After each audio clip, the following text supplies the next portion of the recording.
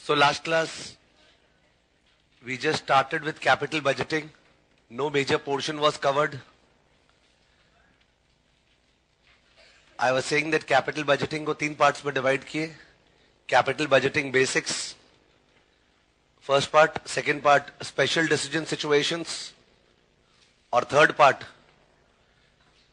risk analysis. Okay, capital budgeting basics, special decision situations, and what? Risk analysis. so, first part में अपने NPV introduce किए थे and I think compare to your PCC level केवल एक point extra communicate हुआ कि while doing NPV अगर reinvestment rate दिया हुआ रहेगा री इन्वेस्टमेंट रेट तो we will calculate modified NPV which NPV modified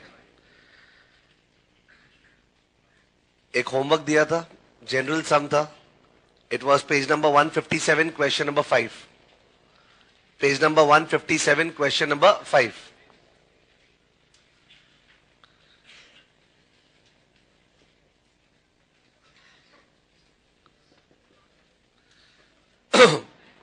page number 157 question number five तो पेज 157 क्वेश्चन नंबर फाइव में Auto Lamps is in the business of specialty lamps for automobiles.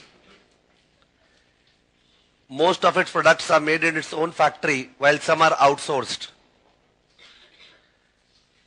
Currently, the firm wants to introduce a new lamp for two-wheelers which can be made in its own factory or brought from its suppliers.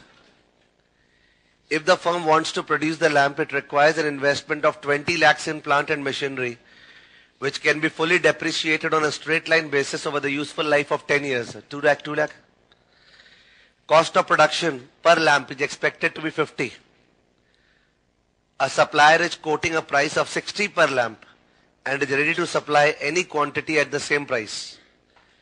The company's cost of capital is 15% and tax rate is 40%. Assume all cash flows are certain advise the company whether to make or buy the lamps if the demand is 50,000 lamps. Demand is 50,000 lamps hoga. The demand is 50,000 lamps per annum, sorry.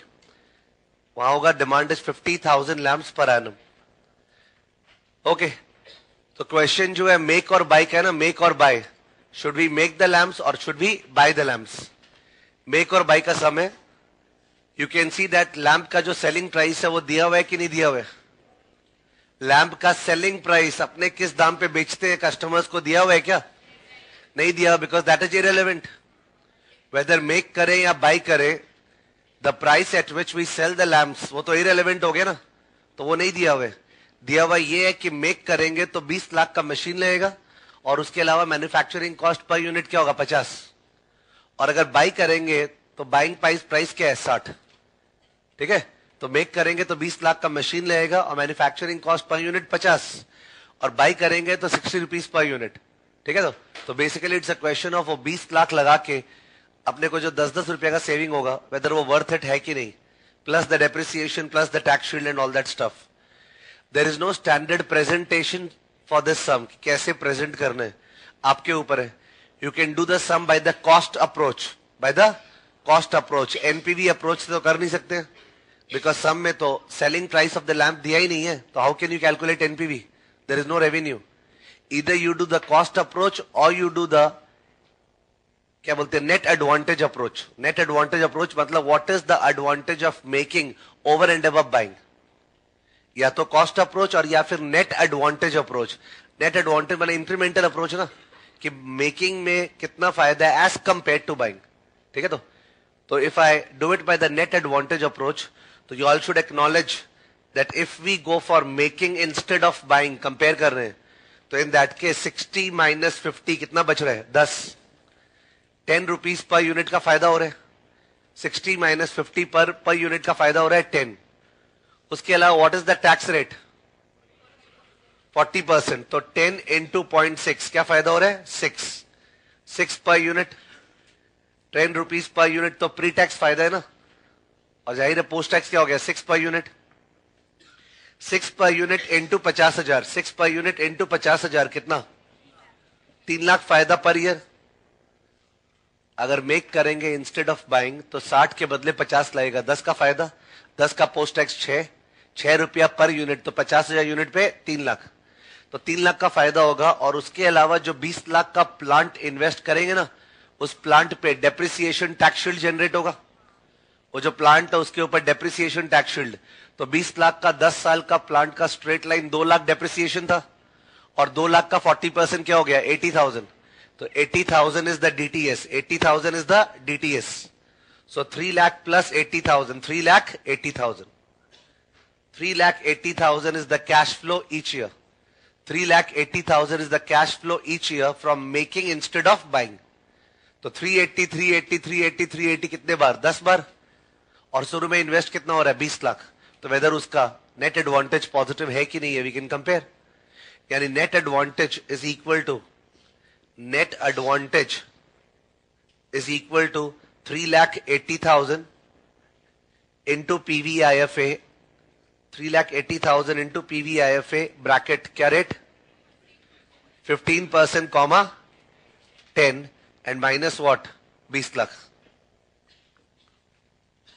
Three lakh eighty thousand into annuity factor fifteen percent comma ten minus बीस lakh. Okay three lakh eighty thousand into annuity factor minus बीस lakh this is coming to ninety two thousand eight sixty eight approx positive या negative negative negative ninety two eight sixty eight आया negative तो इसका मतलब we should not make we should buy ठीक है? We should not make we should buy this is the simplest of solution to this question compare कर रहे हैं making और बाइंग को कि मेकिंग से क्या नेट एडवांटेज है? तो मेकिंग से दस रुपया कमती लग रहा है। पोस्ट टैक्स छह रुपया, पचास हज़ार रुपये तीन लाख। उसके अलावा डिप्रेशन टैक्स अस्सी हज़ार। तो तीन लाख अस्सी हज़ार का फ़ायदा दस साल। तो उसका पीवी करके माइनस बीस लाख। ठीक है? तो that is the net advantage negative आया तो we should not make we should what buy मैं बोल रहा हूँ कि कोई ज़रूरत नहीं कि तुमको ऐसे ही करना पड़ेगा। No you may not do it that way आप अलग अलग करो ना। What is the cost of making over 10 years what is the cost of buying over 10 years cost of making 10 साल का क्या है cost of buying 10 साल का है और जो कमती है वो answer you will find that cost of buying कमती आएगा to the extent of 92868 ठीक है तो तो cost of making and cost of buying you can do the sum via that approach cost of making and cost of buying उससे अपने कर सकते हैं क्वेश्चन को cost of making and cost of buying अगर कॉस्ट ऑफ़ मेकिंग करते तो क्या होता cost of making would be बीस लाख। बीस लाख तो शुरू में लग रहा है ना? बीस लाख लग रहा है शुरू में। और हर साल अपना, हर साल अपना पाँच लाख इंटू पचास, ढाई लाख लगेगा। सॉरी पचास हज़ार इंटू पचास हज़ार लैम्प था और इंटू पचास किया पचास हज़ार इंटू पचास क्या लगेगा? पचास हज़ार इंटू पचास equal to twenty five twenty five लगेगा और ट्वेंटी फाइव लैक्स जो लगेगा, उसका पोस्ट टैक्स क्या हो गया? 25 लाख का पोस्ट टैक्स 25 लाख जो हर साल आएगा, उसका post tax 25 five into point six fifteen lakhs और डेप्रिसिएशन टैक्स शील्ड क्या बचेगा? मैंने मिलेगा? पॉइंट एट पॉइंट एट ना एट लाख एटी थाउज़ेंड तो fifteen minus point eight is equal to fourteen point two fourteen point two lakhs is the annual cost पचास हज़ार lamps का पचास हज़ार इंटू पचास, पच्चीस लाख. पच्चीस लाख पीएल में डेबिट होगा फोर्टी परसेंट टैक्स बचेगा। तो पोस्ट टैक्स क्या लग रहा है? पंद्रह लाख? और उसके अलावा टैक्स शील्ड बचेगा कितना? अस्सी हज़ार। तो इन दैट केस पंद्रह लाख माइनस अस्सी हज़ार fourteen point two lakh every year लगने वाले। और शुरू में क्या लग रहा है? बीस लाख। तो उस केस में तुम्हारा टोटल कॉस्ट हो जाएगा बीस plus fourteen point two into PV I F A bracket fifteen percent comma ten this is the cost of making over ten years ना cost of making over ten years शुरू का बीस लाख और हर साल fourteen point two into PV I F A पंद्रह comma दस। ठीक है? This is the cost of making over ten years कितना आ रही है? Ninety one ninety one point two seven lakhs cost of making ninety one point two seven lakhs cost of making over ten years और cost of buying क्या है? Cost of buying तो शुरू में कुछ लग रहा नहीं है। सीधा पर ये लैंप, पर लैंप का लग रहा है सिक्सटी। तो पचास हज़ार लैंप का कितना हो गया? तीस लाख। और तीस लाख पीएल में डेबिट हुआ।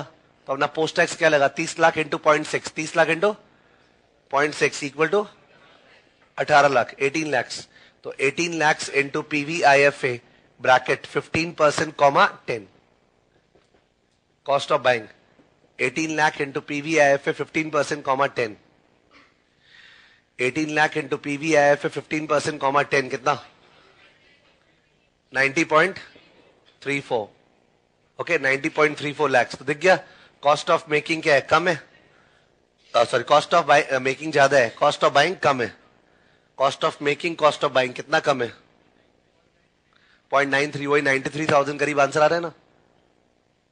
Okay but presentability point of view से the first approach is better ठीक है ना?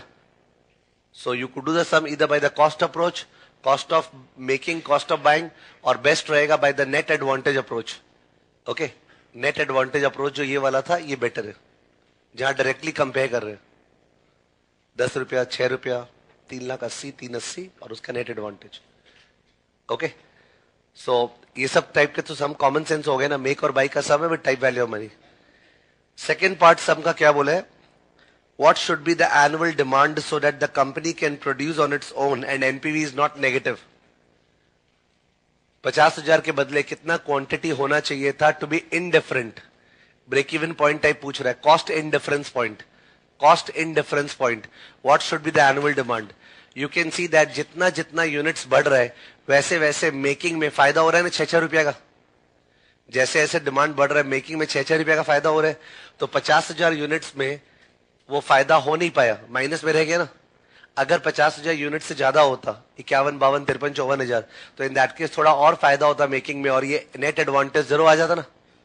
तो पूछ रहा है वही what is the number of units at which cost of making and cost of buying are what same what is the number of units at which they are what same तो उस केस में अपना answer होगा उसमें six Q six you remember what was six post tax post tax savings per unit साठ minus पचास, दस का पोस्ट टैक्स तो six into Q plus eighty thousand six into Q plus eighty thousand the whole into PV I F A the whole into PV I F A fifteen percent comma ten six Q plus eighty thousand the whole into PV I F A fifteen percent comma ten minus twenty lakhs equal to what zero zero कर दिए। Six Q plus eighty thousand वहाँ पे करे थे तीन lakh plus अस्सी हज़ार। Because quantity पचास हज़ार था ना। यहाँ क्वांटिटी को क्यू ले लिए। तो सिक्स इंटू क्यू प्लस अस्सी हज़ार D T S the whole into PV I F A minus बीस lakh equal to zero solve for what Q solve for Q Q क्या आ रहे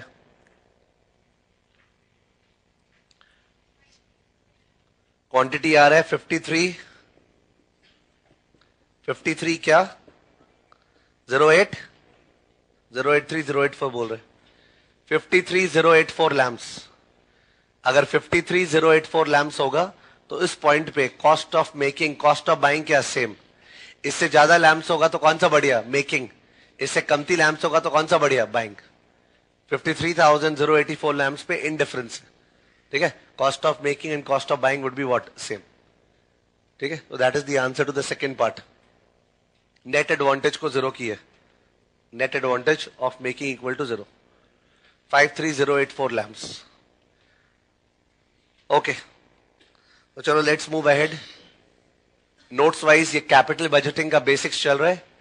इसमें पॉइंट नंबर वन इंट्रोडक्शन हुआ था point number two शायद एनपीवी लिखे थे। ठीक है ना? ये तो स्टेटस है। तो let's move ahead point number three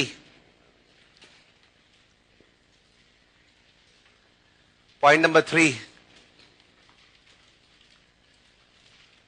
Point number three, IRR.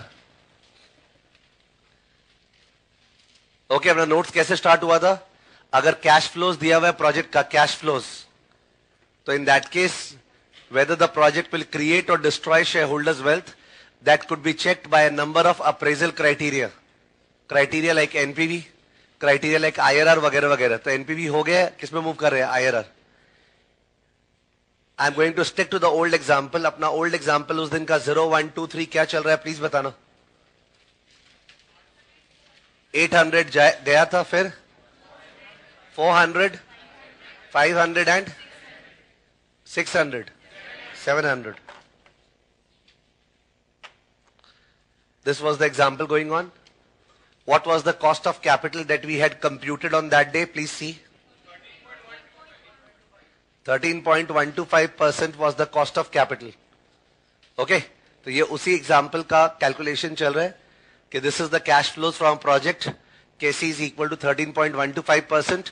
So the project will be viable only if it generates a return of more than 13.125. ठीक है? So we are trying to calculate the internal rate of return of the project. Okay? तो internal rate of return of the project निकालने के लिए we do outflow equal to inflow. Outflow equal to inflow में आपको guesswork का तरीका याद होगा.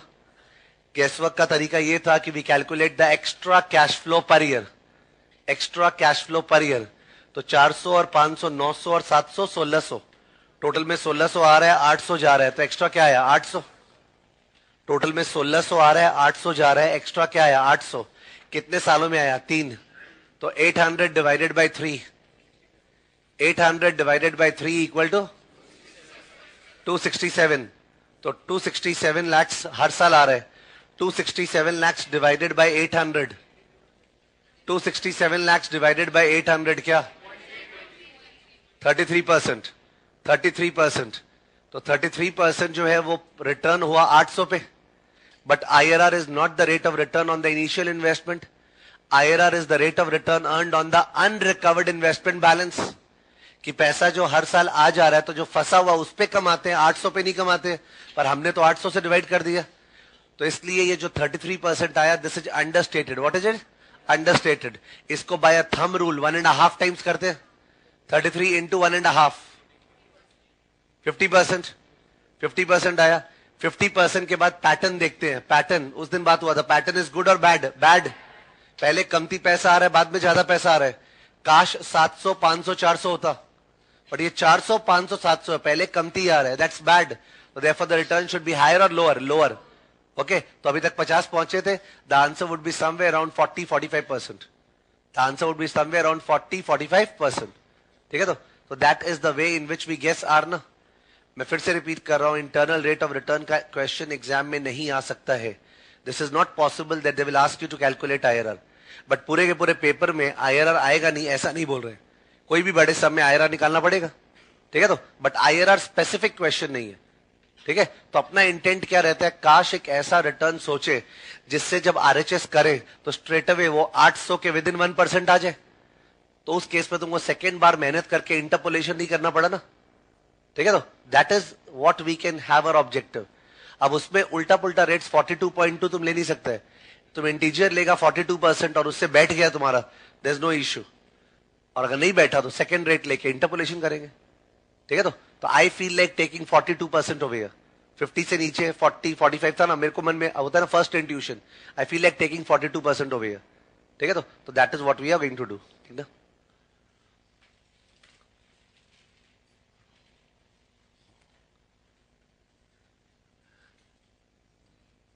IRR is given by IRR is given by dash next line.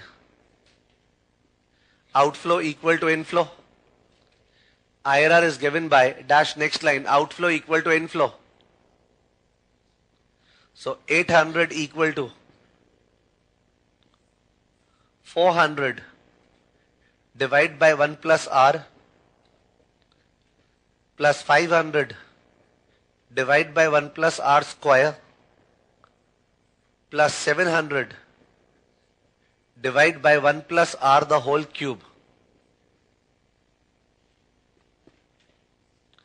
ठीक है 800 equal to 400 by 1 plus R plus 500 by 1 plus R square plus 700 by 1 plus R the whole cube ठीक है let R equal to 42 percent let R equal to 42%. Therefore, RHS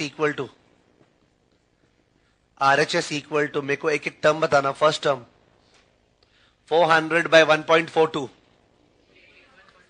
two eighty one point six nine two eighty one point six nine plus second term two forty seven point nine seven two forty seven point nine seven plus third term two forty three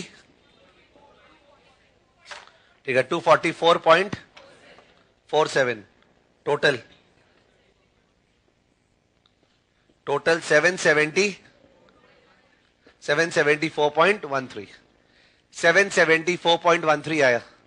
तो उतने lucky नहीं थे अपने because 800 लाना था। One percent का gap allowed है ना?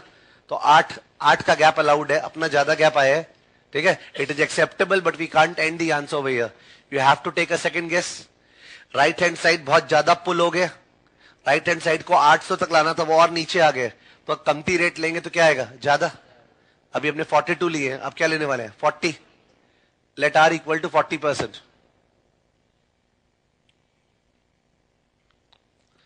let R equal to 40%. Let R equal to 40%, therefore RHS equal to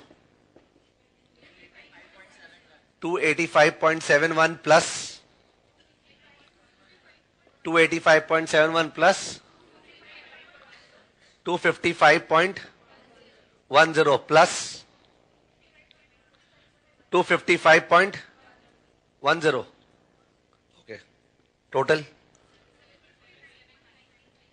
Seven ninety-five point nine one. Okay.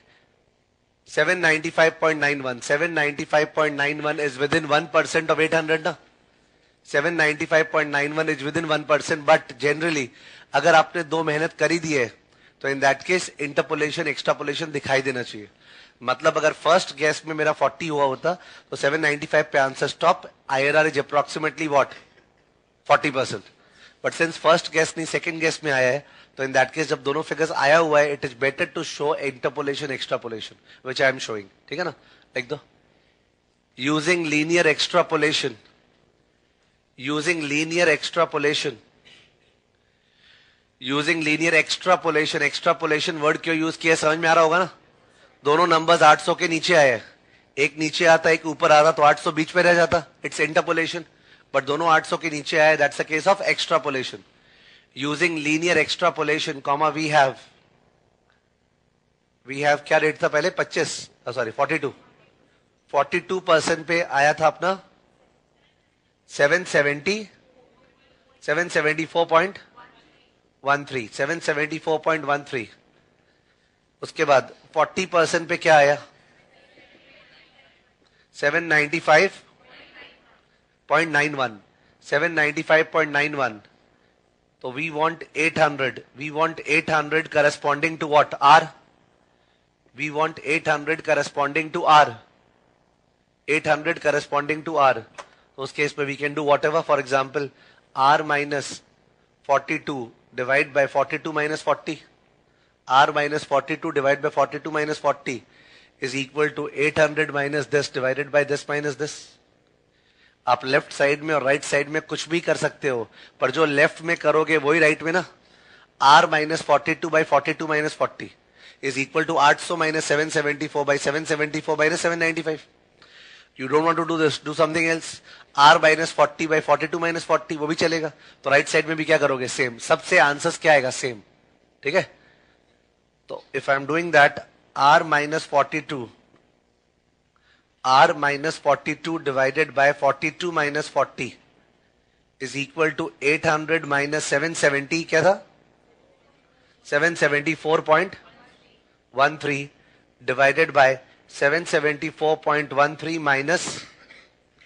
Minus seven ninety five point nine one. Okay, वहाँ negative आ रहा उस तरफ़, संभाल के। तो आर क्या आया thirty nine point six two percent approx. Thirty nine point six two percent approx. Internal rate of return thirty nine point six two percent approx. ठीक है? We will not be able to focus too much on these petty calculations, but I'm just trying to ensure that मैं इनको छोड़ नहीं दूँ ठीक है तो? Because capital budgeting at final level is not about NPV error का computation. ठीक है? फिर भी स्किप करने के बजाय एक एक एग्ज़ाम्पल से आगे बढ़ते जा रहे हैं। तो 39.62 percent is the internal rate of return which is obviously greater than KC okay जो लोग पैसा लगाए वो लोग को 13.125 चाहिए और रिटर्न आने वाला है 39.62 the project is what viable like दो since IRR Since IR are greater than KC, since IR are greater than KC, since IR are greater than KC, comma, the project is expected to create shareholders wealth. Since IRR is greater than KC, comma, the project is expected to create shareholders wealth. Since IRR greater than KC, comma, the project is expected to create shareholders wealth. The project is expected to create shareholders wealth and is therefore viable. The project is expected to create shareholders wealth and is therefore viable. The project is expected to create shareholders wealth and is therefore viable. Note अब IRR के ऊपर जो extra जानना है वो extra ये जानना है कि internal rate of return if possible please complete my sentence internal rate of return जो अपने निकालते हैं आईआरआर ओके उसमें फ़र्स्ट कैश फ्लो को एक साल पहले डाना सेकेंड को दो साल पहले थर्ड को तीन साल पहले। एकदम वाईटीएम हो गया ना? बॉन्ड वैल्यूएशन चैप्टर का वाईटीएम हो गया। वाईटीएम और आईआरआर तो एक्जैक्टली सेम चीज़ है, जानबूझ के अलग नाम दिया गया कि बॉन्ड में वाईटीएम बोलते हैं कैबज में आईआरआर बोलते हैं। तो ज़ाहिर है YTM that is IRR is based on the assumption that the intermediate cash flows are reinvested at IRR जैसे NPV is based on the that the intermediate cash flows are reinvested at KC जिससे discount किया उसी से अंदर ही अंदर compound हो चुका है। तो आईआरआर अज्यूम कर रहे कि जो 400 लाख रुपया आएगा, उसको 39.62 परसेंट पे दो साल री इन्वेस्ट होगा। जो 500 लाख रुपया आएगा, वो 39.62 परसेंट पे एक साल री इन्वेस्ट होगा। ऐसे कैसे अज्यूम कर सकते हैं? हाउ डू यू नो एक साल बाद कंपनी के पास क्या इन्वेस्टमेंट अपॉर्चुनिटीज़ होगा? ठीक है? हो सकता है नहीं हो ऑब्वियसली तो आईआरआर का ये एजम्पन बहुत अनरियलिस्टिक है। तो हो सकता है अपने को री इन्वेस्टमेंट रेट दिया रहेगा। बीस परसेंट, कितना? बीस परसेंट री इन्वेस्टमेंट रेट है। तो री इन्वेस्टमेंट रेट जैसे ही देगा, तुम लोग को पता क्या करना है? पैसे वो कहाँ भेजना है? आगे। बीस परसेंट से आगे भेज के, उसके बाद आउटफ्लो इक्वल टू इनफ्लो करके अपने आर निकालेंगे ना? That's called modified IRR which IRR modified please write down note IRR is based on the assumption. IRR is based on the assumption. IRR is based on the assumption. IRR is based on the assumption that the intermediate cash flows. IRR is based on the assumption that the intermediate cash flows. IRR is based on the assumption that the intermediate cash flows are reinvested that the intermediate cash flows are reinvested at IRR itself that the intermediate cash flows are reinvested at IRR itself Full stop. However, if reinvestment rate of 20% is given, however, if reinvestment rate of 20% is given, if reinvestment rate of 20% is given, 20% is given, comma, we calculate, we calculate modified IRR. We calculate modified IRR. we calculate modified IRR dash next line like the future value of the reinvested cash flows future value of the reinvested cash flows future value of the reinvested cash flows equal to 400 into 1.2 square तो 400 जो first year के end में आया, उसको second year third year दो साल reinvest किए। Plus five hundred into one point two and plus what seven hundred four hundred into one point two square plus five hundred into one point two plus seven hundred कितना? One eight seven one eight seven six one eight seven six story over पैसा लगाया था 800 कितना लगाया था? 800 सोचो, एक साल बाद कुछ नहीं आया। दो साल बाद कुछ नहीं आया। सीधा तीन साल बाद 1876 आया। तो अगर एक बैंक में भी जमा करेगा 800 और तीन साल बाद 1876 उठाएगा तो अंदर में रिटर्न है तो? Next line therefore outflow equal to inflow outflow equal to inflow so 800 is equal to 1876 divided by 1 plus r cube. 800 equal to 1876 by 1 plus r cube. Dirty power. r is equal to 1876 by 800 to the power 1 third minus 1. r is equal to 1876 by 800 to the power 1 third minus 1. 1876 by 800 equal to जो आया 12 times square root फिर minus one फिर divide by three फिर plus one फिर into equal to into equal to बारह बार। और जो स्क्रीन पे आया माइनस वन क्या? Thirty two point eight six percent जबकि अपना निकाला हुआ thirty nine point six two है। निकाला हुआ कितना? Thirty nine point six two तो thirty nine point six two तो ये अज्यूम किया कि बीच का पैसा थर्टी नाइन परसेंट पर इन्वेस्ट हो रहा है। तो अगर बीच का पैसा कमती रेट पे इन्वेस्ट हो रहा है तो रिटर्न तो कमती होना ही है ना? 32.86 परसेंट ठीक है? Note number two note number two conflict between NPV and IRR note number two conflict between NPV and IRR conflict between NPV and IRR conflict between NPV and I R R discuss कर रहे हैं. Now please accept this that for a single project for a single project NPV and I R R can not have any conflict possible नहीं है. अगर एक single project का 13.125 percent KC पे NPV positive है, ये प्रोजेक्ट जो है, इसका केसी 13.125 था. तो 13.125 परसेंट पे अगर एनपीवी पॉजिटिव है एनपीवी पॉजिटिव है तो क्या इसका रिटर्न 13.125 परसेंट से कम हो सकता है? नॉट पॉसिबल अगर एनपीवी पॉजिटिव आया केसी से लड़के तो पक्का आईआरआर केसी के ऊपर है.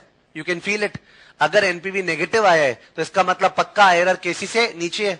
अगर एनपीवी ज़ीरो आया है तो पक्का आईआरआर क्या है? केसी मतलब for a single project if NPV says accept IRR will say accept reject IRR will say reject there can not be any exception sir ये हो गया तो वो हो गया तो नो एक्सेप्शन तो there is no conflict between NPV and IRR for a single project ठीक है तो however if we have two or more projects, if we have two or more projects, say two projects, which are mutually exclusive, which are mutually exclusive, यानी दोनों allowed है कि दोनों में से एक allowed है दोनों में से एक allowed है mutually exclusive बोल रहा हूँ तो in that case, it may so happen bad luck that project A का एनपीवी बी से ज़्यादा है और प्रोजेक्ट बी का आईआरआर ए से ज़्यादा है।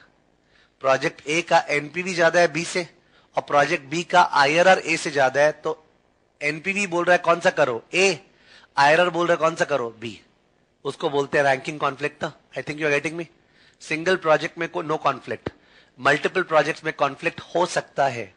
और होने का मेन कारण है different reinvestment assumption different reinvestment assumption NPV का री इन्वेस्टमेंट अजम्पन क्या था? केसी आईआरआर का री इन्वेस्टमेंट अजम्पन क्या है? आईआरआर तो मेन कारण है कॉन्फ्लिक्ट होने का डिफरेंट री इन्वेस्टमेंट अजम्पन उसके अलावा एनपीवी इज़ अ परसेंटेज और an amount amount IRR is what a percentage तो NPV is an absolute criterion absolute पचास लाख का net present value is a relative criterion बत्तीस परसेंट पर एनम रिटर्न ठीक है तो?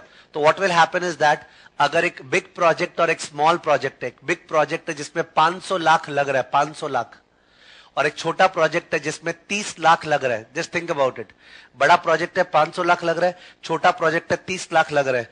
दोनों का एनपीवी निकालेंगे तो मोस्ट प्रोबेबली किसका एनपीवी ज़्यादा आएगा? 500 लाख बिकॉज़ एनपीवी तो अमाउंट है। बड़े फिगर्स का बात करें करोड़ों में तो फिगर्स तो करोड़ों में ही आएगा। तो एनपीवी फ़र्स्ट वाले प्रोजेक्ट का बड़ा आएगा, छोटे वाले प्रोजेक्ट का कम आएगा। पर क्या वाला, क्या पता परसेंटेज टर्म में छोटे वाले प्रोजेक्ट का रिटर्न क्या है? हायर हो सकता है ना? परसेंटेज टर्म में छोटे वाले प्रोजेक्ट का रिटर्न हायर है। उस केस में अपना इंस्टीट्यूट बहुत क्लियर है इस बारे में। If there is a conflict between NPV and IRR okay because of size disparity because of size disparity did you see size disparity एक बड़ा प्रोजेक्ट था और एक छोटा project we will always go by NPV we will always go by NPV because अगर NPV first project का 80 लैक्स है और सेकेंड प्रोजेक्ट का तीन लाख है एट्टी लाख और तीन लाख तो शेयर होल्डर्स वेल्थ अस्सी लाख क्रिएट हो सकता है शेयर होल्डर्स वेल्थ तीन लाख क्रिएट हो सकता है तो which wealth should be created अस्सी लाख समझ गए?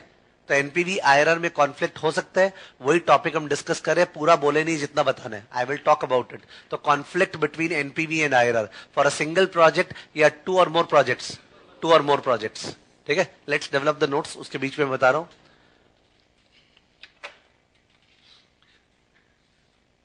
इसके अंदर first bullet for a single project for a single project for a single project there cannot be any conflict between NPV and IRR. For a single project, comma, there cannot be there cannot be any conflict between NPV and IRR. For a single project, comma, there cannot be any conflict between NPV and IRR. Second bullet. However, for two mutually exclusive projects, for two mutually exclusive projects, however, for two mutually exclusive projects, for two mutually exclusive projects, comma, there can be conflict. There can be conflict on account of different reinvestment assumption there can be conflict on account of different reinvestment assumption. On account of different reinvestment assumption. Different reinvestment assumption. Full stop. Third bullet. The situations of conflict are. Third bullet. The situations of conflict are dash एक है size disparity size disparity दूसरा है cash flow timing disparity cash flow timing disparity और तीसरा है life disparity life disparity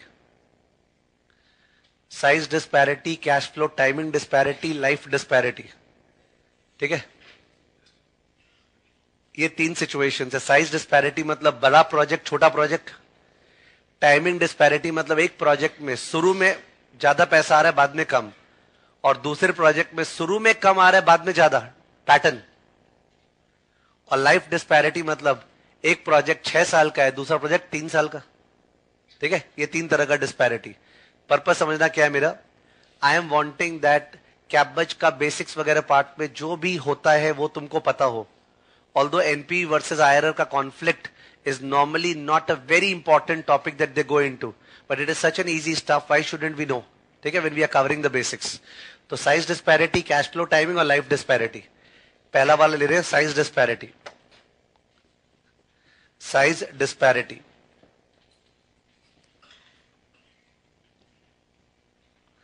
size disparity में एक बार मेरे को नंबर्स बोर्ड पे लेने दो। उसके बाद अपने सेटिस्फाइड हुए, तब जाके लिखना। सपोज़ प्रोजेक्ट ए और प्रोजेक्ट बी है। ठीक है प्रोजेक्ट ए प्रोजेक्ट बी है। और प्रोजेक्ट ए प्रोजेक्ट बी में ज़ीरो पॉइंट ऑफ़ टाइम में। प्रोजेक्ट ए में 500 लाख जा रहे और प्रोजेक्ट बी में टू हंड्रेड लैक्स जा रहे ठीक है? टू हंड्रेड लैक्स तो big project small project to keep things very simple I am taking just a one year project एक साल बाद प्रोजेक्ट ए में आने वाला है nine hundred lakhs project B में आने वाला है चार सौ लाख. तो रिटर्न वाइज तो तुम लोग को दिख गया होगा, कौन सा बढ़िया है? बी बी में तो सौ परसेंट रिटर्न है.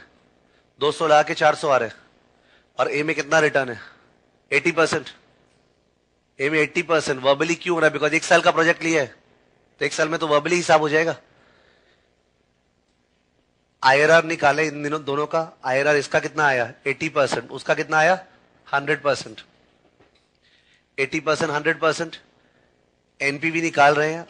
Assuming KC equal to twenty percent NPV निकाल रहा है। Assuming KC equal to twenty percent तो 900 बाय 1.2 माइनस पाँच सौ nine hundred by one point two minus पाँच सौ speak out to two fifty lakhs उसमें 400 बाय 1.2 माइनस दो सौ 400 बाय 1.2 माइनस 200 133.33 तो कॉन्फ्लिक्ट हो गया ना।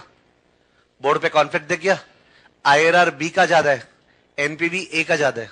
तो एनपीवी तो ए का ज़्यादा होना ही था because A is a bigger project ठीक है? तो NPV is influenced by the size of the project it's an absolute criteria ठीक है तो? तो उस केस में we always prefer the project with the higher NPV because we got to create shareholders wealth of 250 lakh not 133 lakh काश दोनों project mutually exclusive नहीं होता। अगर म्यूचुअली एक्सक्लूसिव नहीं होता, तब तो दोनों करते। Because both are going to create shareholders wealth but अगर दोनों में से एक ही अलाउड है तो let the wealth be created to a higher amount a higher percentage. ठीक है तो? तो NPV is the undisputed the best performance appraisal criterion okay लिख देना consider size disparity can consider the following two mutually exclusive projects. Consider the following two mutually exclusive projects. Consider the following two mutually exclusive projects.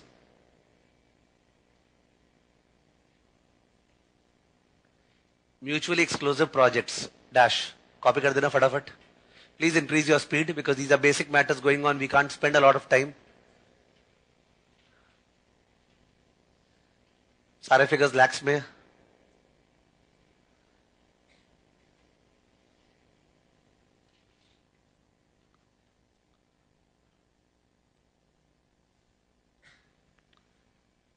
ठीक है IRR का calculation ही दिखाया doesn't matter I don't think it requires verbal inspection teachers you कि 80 percent hundred percent है।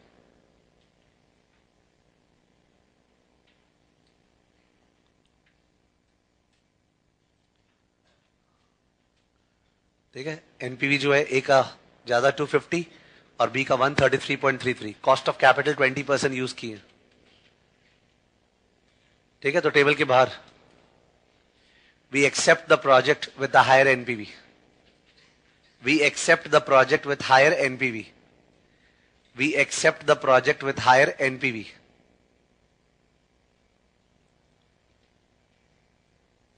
as it result in higher wealth creation We accept the project with higher NPV as it results in higher wealth creation. We accept the project with higher NPV as it results in higher wealth creation higher wealth creation. Okay? So that was size disparity, nothing great. Next. Cash flow timing disparity. Cash flow timing disparity. Cash flow timing disparity. इसमें एक दो terms है, उनको लेके question बनता है अलग से। Size disparity was so easy that it should not be testable हो भी तो क्या प्रॉब्लम है? But cash flow timing disparity में कुछ ऐसा टर्म्स है which you are not aware of ठीक है? तो you should be knowing that देखना प्रोजेक्ट ए प्रोजेक्ट बी ठीक है? और zero one two and three तीन साल का प्रोजेक्ट ले रहे ज़ीरो वन टू थ्री दोनों में इनिशियली 500 लाख जा रहे हैं। तो is there a size disparity no equal size project 500 500 ठीक है? दोनों तीन तीन साल का है। Is there a life disparity no ठीक है तो? टाइमिंग डिस्पैरिटी है, देखना कैसे। फ़र्स्ट वाले प्रोजेक्ट में आने वाला है 200 लाख 300 लाख 400 लाख। 200 300 400 फ़र्स्ट वाले प्रोजेक्ट में। और सेकेंड वाले प्रोजेक्ट में आने वाला है, ठीक है 400 300 और 240 400 तीन sorry I have made both wise वो बढ़िया। उसको 240 नहीं जस्ट मेक इट 140 400 300 140 तो look at this stuff you will find that on the whole ज़्यादा अमाउंट किसमें आ रहा है? ए ए में ज़्यादा अमाउंट आ रहा है 200 300 400 कितना हो गया? 900 ऑन द होल और वहाँ पे तो आ रहा है 840 तो अमाउंट वाइज तो ए बढ़िया but look at the pattern pattern wise वो प्रोजेक्ट बढ़िया होता है, जिसमें पैसा ज़्यादा पहले आता है। तो पैटर्न किसका बढ़िया है? B okay at very low levels of KC at very low levels of KC cost of capital अगर टू परसेंट थ्री परसेंट है तो in that case is time value of money important अगर cost of capital as low as two three percent है is time value of money important no time value of money तो ब्याज होता है। तो if cost of capital is two three percent time value of money is not important and शन the pattern pattern से मतलब नहीं है। Which project has higher NPV A ठीक है तो? कैलकुलेट तो कर ही लेंगे बट कैलकुलेशन के बिना आप समझो कि दो तीन परसेंट पे ज़ीरो परसेंट केसी ज़ीरो है सपोज़ तो उस केस पे प्रोजेक्ट ए का NPV is this plus this plus this minus पाँच सौ। विच इज़ वॉट चार सौ? जबकि प्रोजेक्ट बी का एनपीवी इज़ वॉट तीन सौ चालीस? तो लोअर लेवल्स ऑफ़ केसी पे तो time value of money is not important ना? तो पैटर्न इज़ नॉट इंपॉर्टेंट पैसा is important which is better A at very high levels of KC बीस बाईस percent. At very high levels of KC time value becomes important और time value wise कौन सा project better लग रहा है? B B का एनपीवी ज़्यादा आएगा. मतलब NPV is a function of KC lower levels of KC पे ए का NPV higher higher levels of KC पे बी का NPV higher so there is a certain point at which NPV of A and B are same there is a certain KC at which NPV of A and B are same ना मैं बोल रहा हूँ lower KC पे A higher higher KC पे B higher तो कहीं ना कहीं तो क्रॉस किया होगा That crossing over point is known as the Fisherian rate of return. What rate of return? Fisherian rate of return is that level of KC at which NPV of A and NPV of B are what? Same. It is that rate of return at which NPV A is equal to NPV B ठीक है तो? IRR is not affected by KC. Please acknowledge.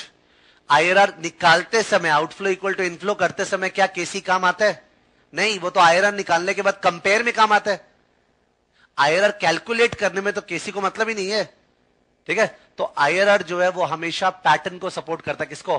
Pattern को। मैं बोलना चाह रहा हूँ IRR किसका ज़्यादा आने वाले इस सब में? बी का। IRR you will find that it's biased in favour of the pattern और वो बी का आईआरआर ज़्यादा आने वाला अब ये सारा कैलकुलेशन करना है जो मैंने बोला। ठीक है तो? बट बिफोर दैट बिकॉज़ तुम लोग कैलकुलेशन करोगे तो you will be preoccupied in that only तो before that do not draw just look at it there is something which you must know that if this is KC and this is NPV, x-axis पे KC and y-axis पे NPV, there is something called NPV profile. NPV profile.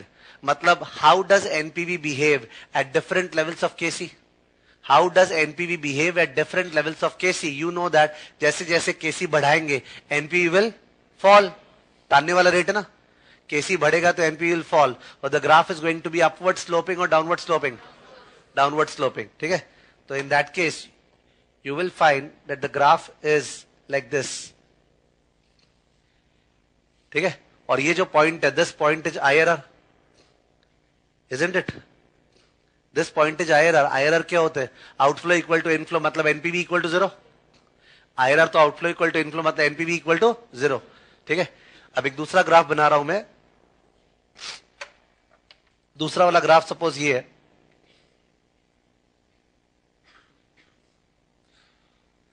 ये second वाला graph है।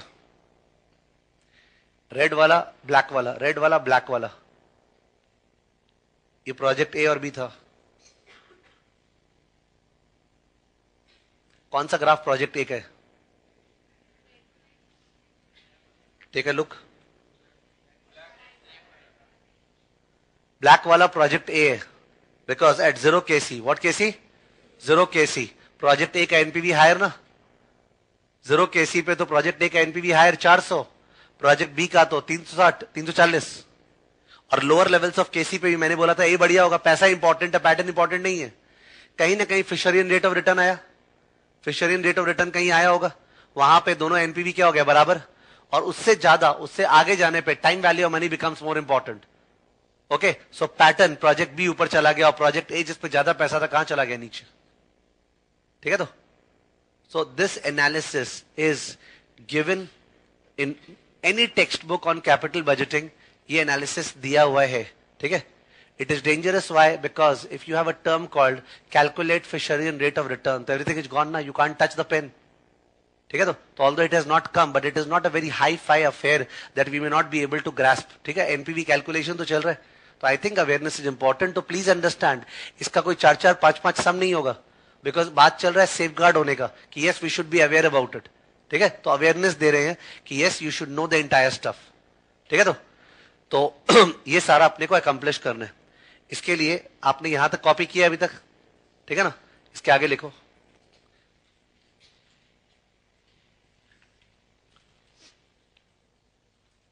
Question number one question number one calculate the Fisherian rate of return question number one calculate the Fisherian rate of return F-I-S-H-E-R-I-A-N. F-I-S-H-E-R-I-A-N. Fisherian rate of return. Fisherian rate of return. Question number two. Question number two. Show the, sorry. Question number two, calculate. Question number two, calculate the IRR of each project. Calculate the IRR of each project. IRR of each project. Question number three. Show the NPV profile. Show the NPV profile. Show the NPV profile at Kc equal to at Kc equal to 0 comma two percent अब मेरे को जो और comma में लिखाना है ना वो मेरे फ़र्स्ट टू आंसर्स पे डिपेंडेंट है ठीक है तो तीन चार और केसी बोलेगा but I am not able to because अपने फ़र्स्ट टू आंसर निकाले नहीं। ठीक है? तो zero comma two percent comma dash dash dash छोड़ा हुआ अभी। फिर कमेंट लास्ट में कमेंट ठीक है? ये पूरे का अंडरस्टैंडिंग क्या है, क्या नहीं, उसके ऊपर कमेंट करें। और this will cover up the entire discussion जो करना चाह रहा था। ठीक है? बट यू सॉ मैं नंबर्स पे नहीं गया पहले। तुम लोग समझ गए मोटा मोटी क्या मैसेज है। अब उसके बाद जाके कैलकुलेशन हो रहा है। लेट स्टार्ट सॉल्यूशन सॉल्यूशन है। F R O R Fisherian rate of return को एफ़ आर ओ आर बोल देते हैं। देखो Fisherian rate of return F R O R F R O R Fisherian rate of return is that discount rate F R O R is that discount rate is that discount rate at which NPV of project A is equal to NPV of project B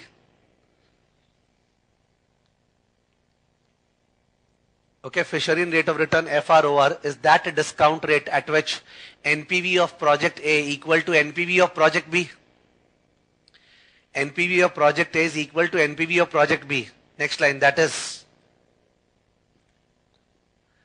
minus 500 plus first year 200 था क्या project में 200 by one plus k plus क्या था 300 by one plus K whole square plus क्या था?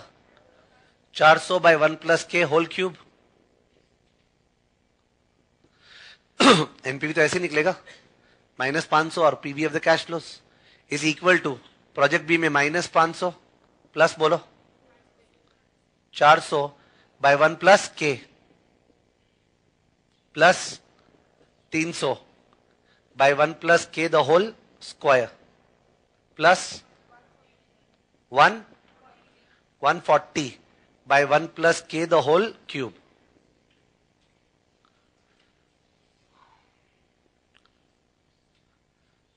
okay तो ये numbers है। एक मिनट जस्ट मेरे को जरा सा ये लग रहा है डाउट कि बाई चांस आयरर वगैरह बहुत कम नहीं आ जाए, मैंने return and we don't get mixed up I am just wanting you to जहाँ पे 400 था ना, वहाँ पे आप लोग प्लीज़ 600 कर दो।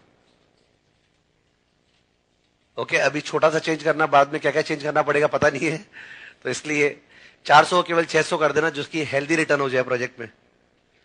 ठीक है? अकॉर्डिंगली यहाँ पे चेंजेस है ये 600 है और ये भी क्या है 600 ओके okay. अब देखो सिंपल कैलकुलेशन है लेट्स सी ये 500 500 कट हो गया दोनों साइड से और ये 200 बाई वन प्लस के छह सौ बाई वन प्लस के तो राइट हैंड साइड में क्या बचा? 400 by one plus K. Second वाला टर्म कट सेकेंड वाला टर्म कट सबको दिख रहा होगा। थर्ड वाले टर्म में ये 600 सौ माइनस एक कितना?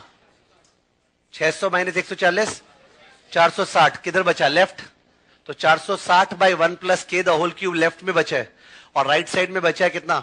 400 सौ बाई वन प्लस के लिखना we have 460 divided by one plus K the whole cube equal to 400 divided by one plus K okay with you 500 वाला टर्म कट गया के स्क्वायर वाला टर्म कट गया। तो वन प्लस के गॉन यहाँ पे क्या बचा? स्क्वायर वन प्लस के था वन प्लस के क्यूब था। बचा वन प्लस के स्क्वायर तो ultimately I am having one plus K the whole square equal to 460 by 400 okay with you one plus K square चार is 460 by 400 तो what is K k equal to 460 by 400 to the power half minus 1. 460 by 400 to the power half minus 1. Speak out. 7.24 percent. So 7.24 percent is the Fisherian rate of return. 7.24 percent दुनिया में वो KC है, जिसमें project A का NPV और B का NPV क्या है? सेम अगर आप मन में अभी ग्राफ पिक्चराइज करें तो और बढ़िया। ये वो पॉइंट है जहाँ पर दोनों ग्राफ क्या कर रहा है? क्रॉसओवर 7.24 उससे भी बढ़िया। और एक कदम आगे चलो मन में सोचते हुए। 7.24 से नीचे, अगर केसी दो परसेंट, तीन परसेंट है तो time value of money is not important pattern is not important पैसा इज़ इंपॉर्टेंट और पैसा ज़्यादा किसमें था? ए ठीक है तो? और 7.24 परसेंट के बाद what is important time value of money यानी पैसा is not important what is important pattern और पैटर्न किससे बढ़िया था? बी ठीक है? तो आपको कंक्लूजन पहले से पता है तो you will appreciate the conclusion जब वो फिगर्स में रिफ्लेक्ट होगा। ठीक है? और that's the Fisherian rate of return 7.24 percent ठीक है? Next question answer number two answer number two दोनों प्रोजेक्ट का आईआरआर पूछा है। मैं इसमें टाइम स्पेंड ज़्यादा नहीं करना चाह रहा हूँ। दोनों का आयरा निकालने में अपने ज़्यादा टाइम नहीं स्पेंड करना चाह रहे हैं। Therefore we are basically not going for presentation just finding out the answer समझा? बिकॉज़ क्या इस क्वेश्चन का फोकस मेरा आयरर सिखाना है तुम लोग को? नो आवर फोकस जो प्रोफाइलिंग ना? बट आयरर का फिगर मेरे को बीच में चाहिए तो क्या करे? इसलिए आई एम वॉन्टिंग दैट अपने इनफॉर्मली आंसर निकाल के सीधा लिख दें। And you understand while revising ठीक है यार, अपने कैलकुलेशन साइड में कर लेते यू आर गेटिंग मी तो इन दैट केस चलो help me out of your 500 जा रहे दो हैं तीन सौ और 600 आ रहे कितना आ रहा है? ग्यारह सौ आ रहे तो 1100 आ रहा है 500 गया। ध्यान देना 1100 आ रहा है 500 गया। कितना? छह सौ। छह 600 एक्स्ट्रा आया कितने सालों में? तीन सालों में। दो सौ पर ईयर दो सौ बाई पाँच सौ। दो सौ बाई पाँच सौ फोर्टी परसेंट दो सौ बाई पाँच सौ forty percent into one point five sixty percent sixty percent हुआ। Sixty percent but the pattern is very bad the pattern is very bad 200 300 600 very bad देखो the return has to be very low तो 60 के बजाय 45 type 60 के बजाय 45 type और अपने को टाइम स्पेंड करना नहीं है तो 45 से एक बार कैल्सी लेवल पे चेक कर लो. कैसे चेक करो? ऐसे देखो. आगे बढ़ते हुए चेक करना, पीछे टानते हुए नहीं. बेटर रहेगा. कैल्सी लेवल पे चेक करेगा तो बोलना चाह रहा हूँ पाँच सौ into one point four five अरे पाँच सौ लगाए, पैंतालीस परसेंट चाहिए. पाँच सौ into one point four five बताना. सेवन ट्वेंटी सात सौ पच्चीस आना चाहिए था.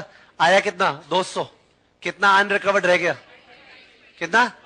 फाइव ट्वेंटी फाइव फंसा हुआ है। Five twenty five into one point four five five twenty five into one point four five 761.25 आया कितना? 300 तो 761.25 माइनस 300 761.25 माइनस 300 कितना? 461.25 461.25 इंटू 1.45 तो 461.25 इंटू 1.45 है 660 668 जबकि है कितना? 600 यानी 668 अगर होता तो 45 परसेंट रिटर्न होता। बट सिंस 600 है तो रिटर्न 45 से भी क्या है? कम है। 45 से भी कम है। ठीक है? एक बार इसी तरह आगे से, आगे बढ़ते हुए 42 चेक करो तो। कैलसी पे। आगे बढ़ते हुए चेक करना 42 कोई 40 चेक कर लेना। और 42 से 602 आ रहे ओके okay, 42 परसेंट से कोई चेक किया है बोल रहा है 600 क्या आ रहा है? टू तो, तो 600 ही है। पक्का लॉकटेन इन 42 परसेंट ये चीज़ जो है मास लेवल पे कम्युनिकेट करना डिफ़िकल्ट होता है जैसे मैं गया। But you all have to acknowledge that कभी भी अपने जब कंपाउंड करते हैं ना अपने ज़्यादा कंट्रोल में रहता है अंडरस्टैंडिंग और डिस्काउंट करते हैं तो लगता है फॉर्मेलिटी निभा रहे ठीक है तो? तो आयरन निकालने का सही तरीका तो यही है पहले तो गैस वर्क कर लो, फिर जो गैस वर्क किया, उसी से पहले कैल्सी लेवल पे कंपाउंड होके चेक कर लो और उसके बाद कमिट करो, हर बार आंसर मैच करेगा ठीक है तो तो लिख दो IRR of project A 42% approx. IRR of project A 42% approx. ठीक है वहाँ पे टाइम स्पेंड नहीं कर रहे अपने IRR of project A 42% approx. 42% approx. Take your time IRR और प्रोजेक्ट भी बताना।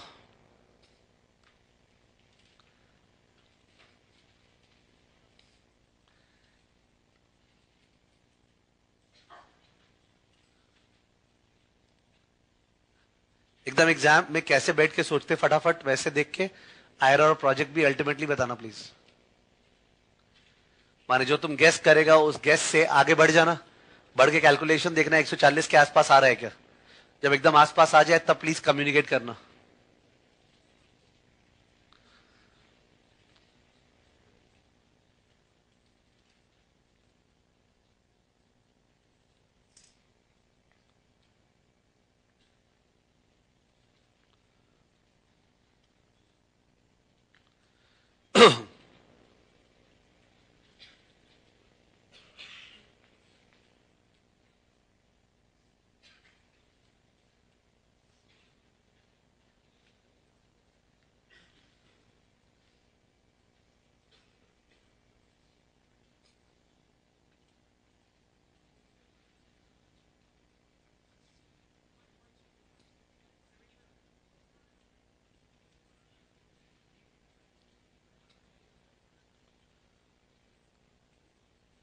जो भी रेट आप सोच रहे हो, उससे आगे की तरफ़ चेक करके 140 तक पहुँचा के आ रहा है क्या, देख लेना।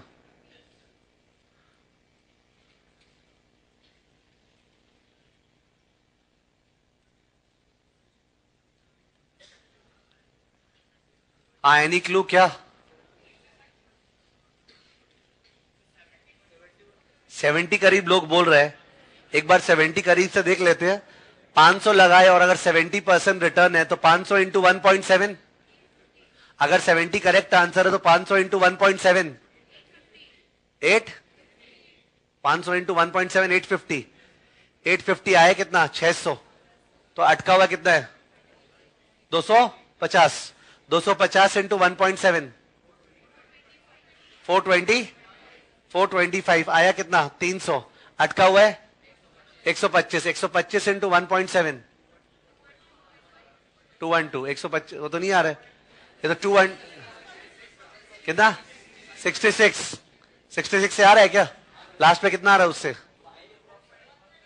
वन थर्टी फाइव करीब आ रहा है। ठीक है, लिख दो अप्रॉक्स में वही। R is equal to R of project B equal to sixty six percent R of project B equal to sixty six percent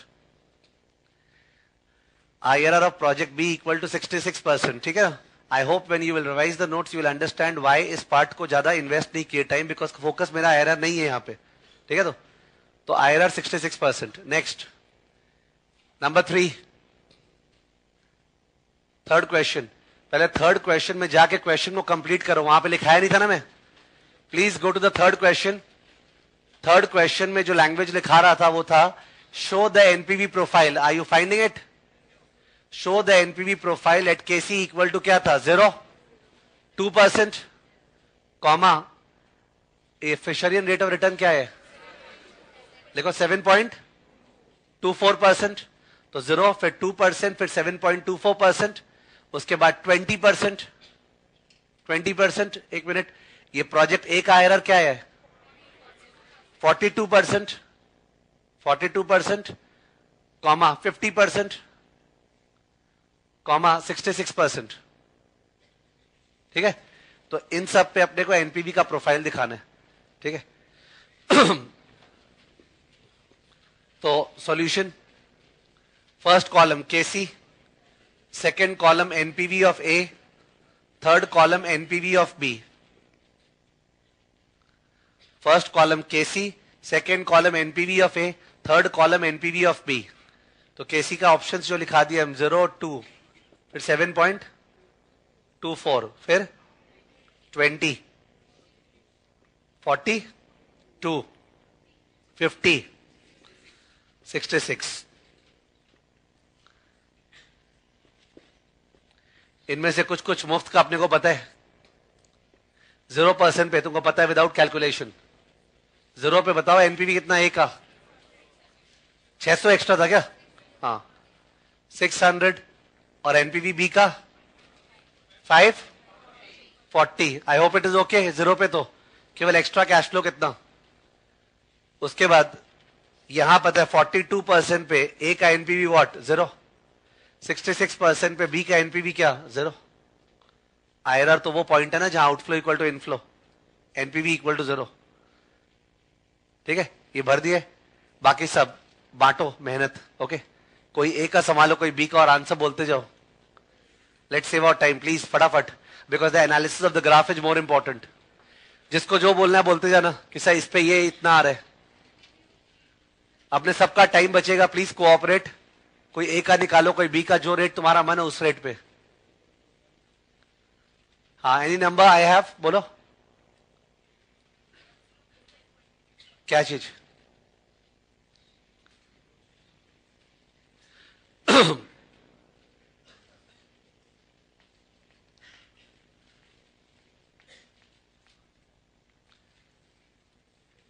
I hope you are not getting blocked NPV कैसे निकालने अपने को आता है ना? Cash flows का PV minus initial investment किस पे? टू परसेंट पे. टू परसेंट पे ए का NPV is five forty nine point eight two क्या गलत है? सही है ना? हाँ. ट्वेंटी परसेंट पे. ट्वेंटी परसेंट पे ए का. हाँ बोलो. Triple two point two two, twenty percent पे ए का बताया। Triple two point two two. किस पे बोल रहे फिफ्टी पे ए का हंड्रेड नेगेटिव। सिक्सटी सिक्स पे ए का कितना? Minus six. सिक्स थर्टी तो बहुत ज़्यादा नेगेटिव लग रहा है। एक चेक कर। कंफर्म होने तो पहले। अलग अलग आंसर आ रहे हैं। ये सब ठीक है। किस पे? 66 पे ए का, कितना? Minus one thirty nine point four eight. फिर? टू परसेंट पे बी का, five hundred and eight point five one. Twenty percent पे बी का, two? Two eighty nine point three five. Seven point two four percent पे। Seven point two four पे A का। A B का same आएगा। A और B का same आएगा। Fisherian rate of return seven point two four पे technically A और बी का क्या आएगा? सेम वो जरा सा डिफरेंस अलग बात है। कितना आ रहा है? Four thirty three point eight seven, four thirty three point eight seven. Fifty four percent पे सेवन माइनस सेवेंटी फोर, नहीं प्लस हाँ सॉरी पॉजिटिव ही तो होगा. Seventy four point eight one fifty percent पे. और फोर्टी टू पे B का. One twenty one twenty point two one one twenty point two one ये रिज़ल्ट आए okay these are the result such calculation cannot be elegant okay which we all will enjoy but we had to do this calculation otherwise graph कैसे दिखेगा? ठीक है तो? But सबसे main चीज़ है if you are absolve into numbers it would be bad you should know conclusion क्या आएगा? हम लोग कैलकुलेशन के पहले ही डिसाइड कर चुके थे। और तुमको तो अब कॉन्फिडेंट आना चाहिए कि देख, यही तो सोचा था। क्या सोचा था? 7.24 पे दोनों का एनपीवी क्या? सेम और 7.24 से कम जब केसी है तो व्हाट इज़ इंपॉर्टेंट पैसा या पैटर्न पैसा। तो पैसा ए का ज़्यादा था तो एक का एनपीवी हायर है। और 7.24 के बाद क्या इंपॉर्टेंट है? पैटर्न और पैटर्न किसका बढ़िया था? बी और देख लो बी का एनपीवी ज़्यादा है। यही तो कंक्लूजन डिस्कस किए थे अपने। ठीक है? तो they are the NPV profiles you copied the same draw the graph sorry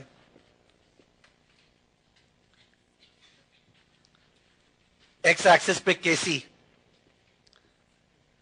और वाई एक्सिस पे NPV sorry X axis KC Y axis NPV X axis पे के सी वाई एक्सिस पे एनपीवी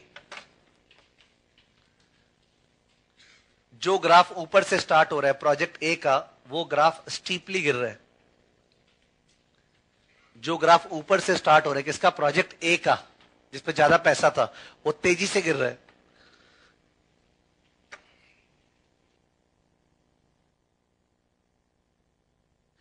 और जो ग्राफ नीचे से start हो रहा है, प्रोजेक्ट बी का, वो धीरे गिर रहा है। तो ब्लू वाला ग्राफ इज़ प्रोजेक्ट ए का ग्राफ। ब्लैक वाला ग्राफ इज़ प्रोजेक्ट बी का ग्राफ। ओके, ब्लू वाला इज़ प्रोजेक्ट ए ब्लैक वाला इज़ प्रोजेक्ट बी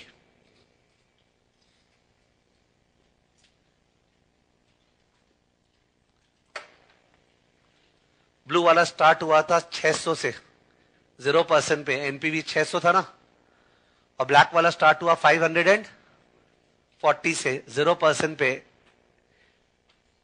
एनपीवी और project B 540 cross over This point is 7.24. Fisher-in rate of return. 7.24% Fisher-in rate of return. 7.24% Fisher-in rate of return. This is the IRR of project A. 42 क्या क्या था 42. This is the IRR of project B. 66.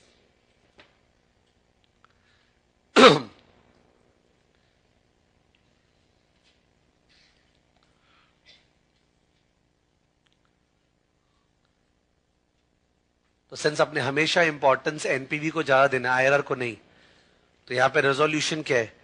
अगर एन अगर KC अगर company का जो KC है, वो 7.24 से कम है, देखो कम है, अगर कंपनी का केसी यहाँ है, इधर, इस रीजन में, तब तो एनपीवी और आईआरआर में कॉन्फ्लिक्ट है। क्यों? Because at lower levels of KC project A का NPV is higher you could see but IRR तो सम में केसी पर डिपेंड नहीं करता। आईआरआर किसका हायर चल रहा है? बी तो at lower levels of KC NPV of A is higher but IRR of B is higher at higher levels of KC 7.24 के बाद सपोज़ 20 परसेंट यहाँ 20 परसेंट है। 20 परसेंट पे कौन सा ग्राफ ऊपर है? ब्लैक तो NPV of B is greater than NPV of A ना? और आईआरआर तो बी का ज़्यादा है ही। मतलब when is there a conflict between NPV and IRR if if KC is less than Fisherian rate or more than Fisherian rate? Less. If KC is less than Fisherian rate, there is then there is a conflict. If KC is less than Fisherian rate, तभी तो conflict हो रहा है blue वाले का NPV ज़्यादा है black से और आईआरआर ब्लैक वाले का ज़्यादा है but at KC more than Fisherian rate NPV भी ब्लैक वाले का ज़्यादा है और आईआरआर भी ब्लैक वाले का ठीक है तो तो it all depends upon firm का क्या केसी चल रहा है वैसे जो भी केसी हो अल्टीमेट कंक्लूजन ये है decision should be taken as per what NPV ठीक है लिखना we find that we find that project A generates higher cash flow than project B. We find that project A generates higher cash flow than project B. We find that project A generates higher cash flow than project B. Project A generates higher cash flow than project B. Full stop. However, project B has a better timing pattern. Project B has a higher, uh, has a better timing pattern. Project B has a better timing pattern. Project B has a better timing pattern. Full stop. Para change at lower levels of Kc.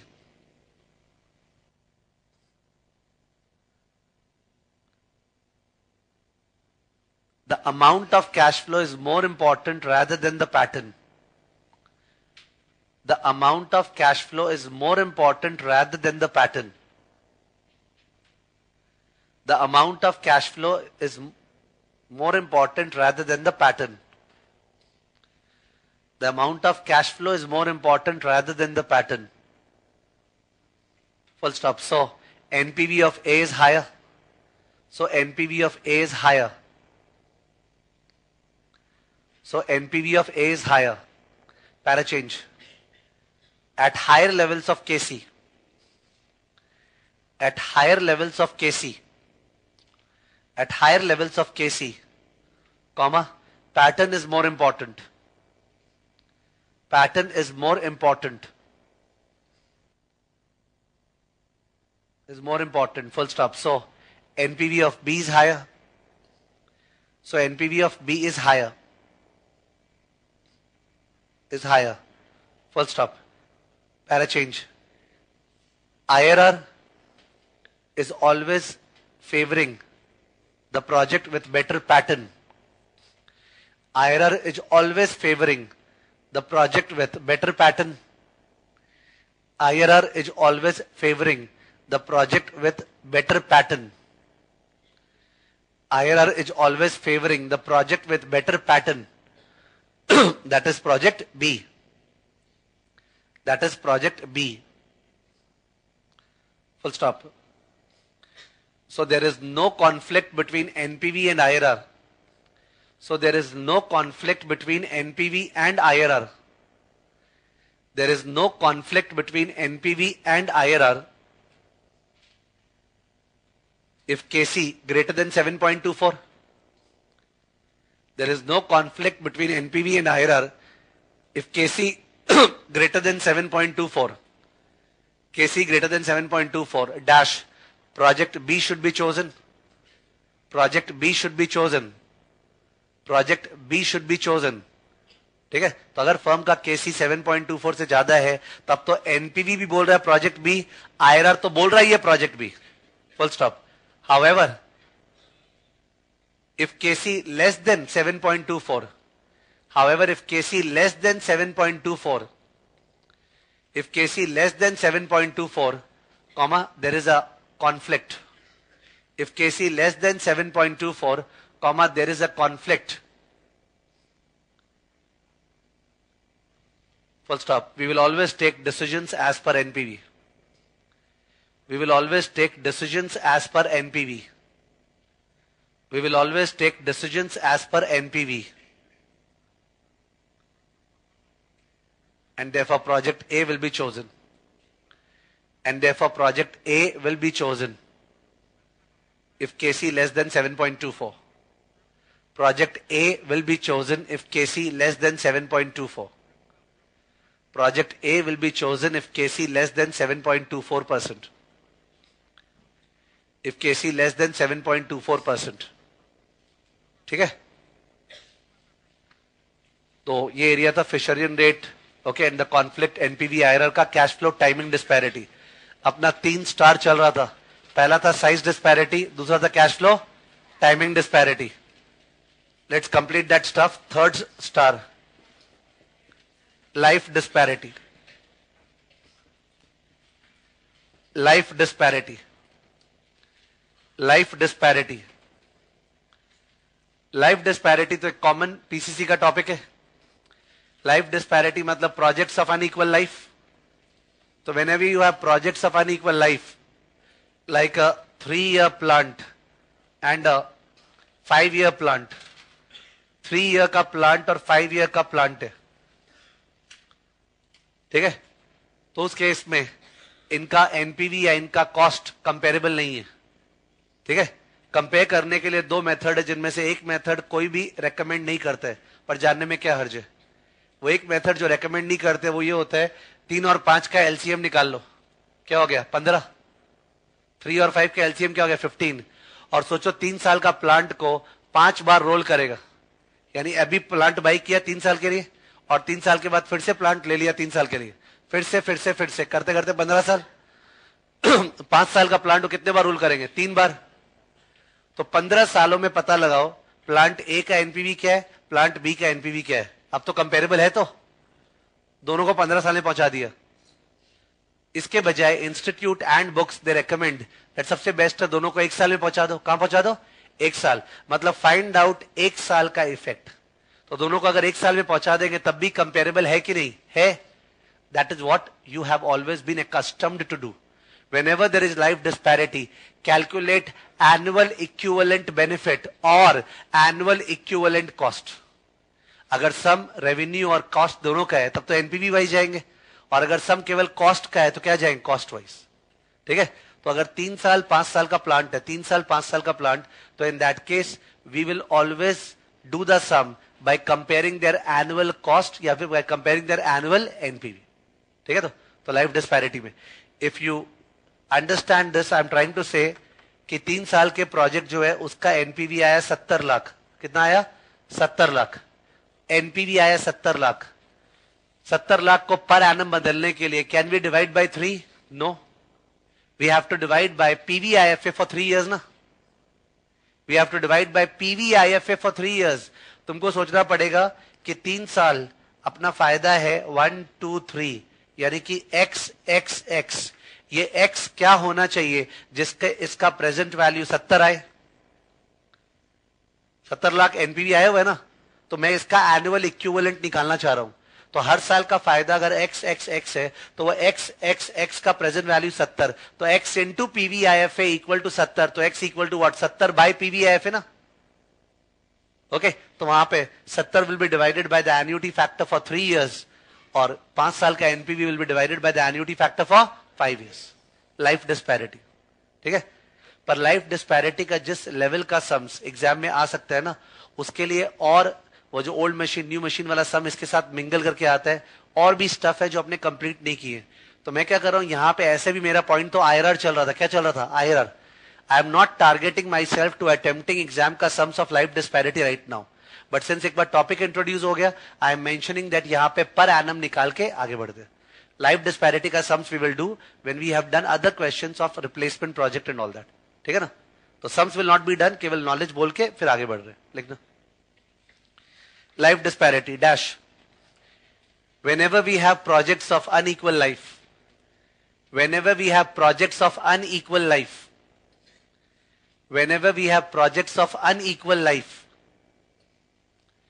whenever we have projects of unequal life comma we compute annual equivalent benefit. We compute annual equivalent benefit annual equivalent benefit or annual equivalent cost. We compute annual equivalent benefit or annual equivalent cost. Annual equivalent benefit or annual equivalent cost and decide accordingly. And decide accordingly. And decide accordingly. Decide accordingly. Okay? इसका और elaboration और questions will be done in the second part when I do special decision situation ना chapter का तीन part कराए थे। Basics special decision risk analysis तो special decision में इसका सम्स करेंगे। एक बार यहाँ पे इंडिकेट कर दिया कि एनुअल इक्विवेलेंट निकालते हैं। ठीक है ना? Okay let's go to the next point point number four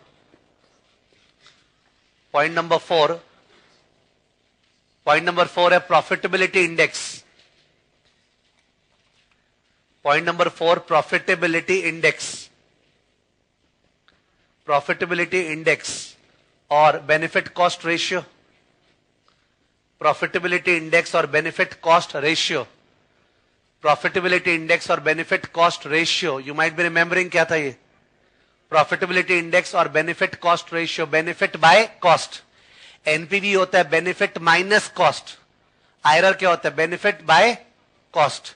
Which means एक मिनट, अपना जो क्वेश्चन चल रहा था, अपना क्वेश्चन क्या चल रहा था उस दिन से? ज़ीरो वन टू थ्री कितना जा रहा है? आठ सौ जा रहा है। और फिर? चार सौ, पाँच सौ और सात सौ आ रहे केसी था thirteen point one two five एक बार प्लीज़ चेक करना तो पीछे। एनपीवी क्या आया हुआ है? एकदम पहले। Second third page of the notes NPV क्या आया हुआ है? मॉडिफाइड एनपीवी नहीं बोला नॉर्मल एनपीवी क्या आया हुआ है four four twenty seven point eight three NPV आया हुआ है ना? मतलब एक्चुअली एनपीवी तो 800 लेस करके आया है। तो लेस करे बिगर आया था one two two seven point eight three ठीक है तो? 800 लेस करे बिगर तो one two two seven point eight three आया था। तो अगर 800 लगा के वन टू टू सेवन आता है अगर 800 लगाने से प्रेजेंट वैल्यू टर्म्स में वन टू टू सेवन आता है तो एक रुपया लगाने से कितना आता है? One two two seven by आठ सौ ना? 800 लगाने से अगर प्रेजेंट वैल्यू टर्म्स में वन टू टू सेवन आता है तो एक रुपया लगाने से कितना आता है? One two two seven by आठ सौ कितना? 1.53 that's called benefit cost ratio you not give it respect खासकर एट दिस लेवल कोई बात नहीं यूनिटरी मेथड है। 800 लगाने से बारह आ रहा है तो एक रुपया लगाने से कितना आ रहा है, वही तो बेनिफिट कॉस्ट रेशियो है। ठीक है तो? तो माइनस करने के बजाय क्या करते हैं? Divide PV of the cash inflows divided by PV of the cash outflow ठीक है? Benefit by cost it shows the benefit per rupee spend benefit per rupee spend obviously more than one होना चाहिए। Obviously क्या होना चाहिए? More than one okay higher the better benefit cost ratio profitability index ठीक है? PV of the cash inflows divide by initial investment ठीक है तो? अगर एक प्रोजेक्ट का बोलना बिकॉज़ मेरे को लग रहा है तुम लोग का नॉर्मल ब्रेन से थोड़ा नीचे चल रहा है। मेरे को ऐसा लग रहा है। तो I am not liking that अगर एक प्रोजेक्ट का एनपीवी सत्तर लाख है इनिशियल इन्वेस्टमेंट 500 लाख है व्हाट इज़ द पीआई एक प्रोजेक्ट का एनपीवी सत्तर लाख है इनिशियल इन्वेस्टमेंट 500 लाख है what is the PI what is the P I one point one four it's पाँच 1.14. सत्तर बाई पाँच 500 ना? अगर एक प्रोजेक्ट में 600 लाख लग रहा है और उसका P I one point four है P I one point four है what is the NPV 240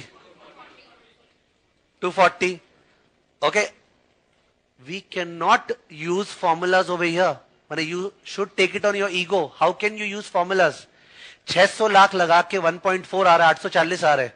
मतलब वो पॉइंट रिटर्न है ना, वो 240 इज़ द एनपीवी एक रुपया लगा के 1.4 आ रहा है 600 लगा के 840 आ रहा है।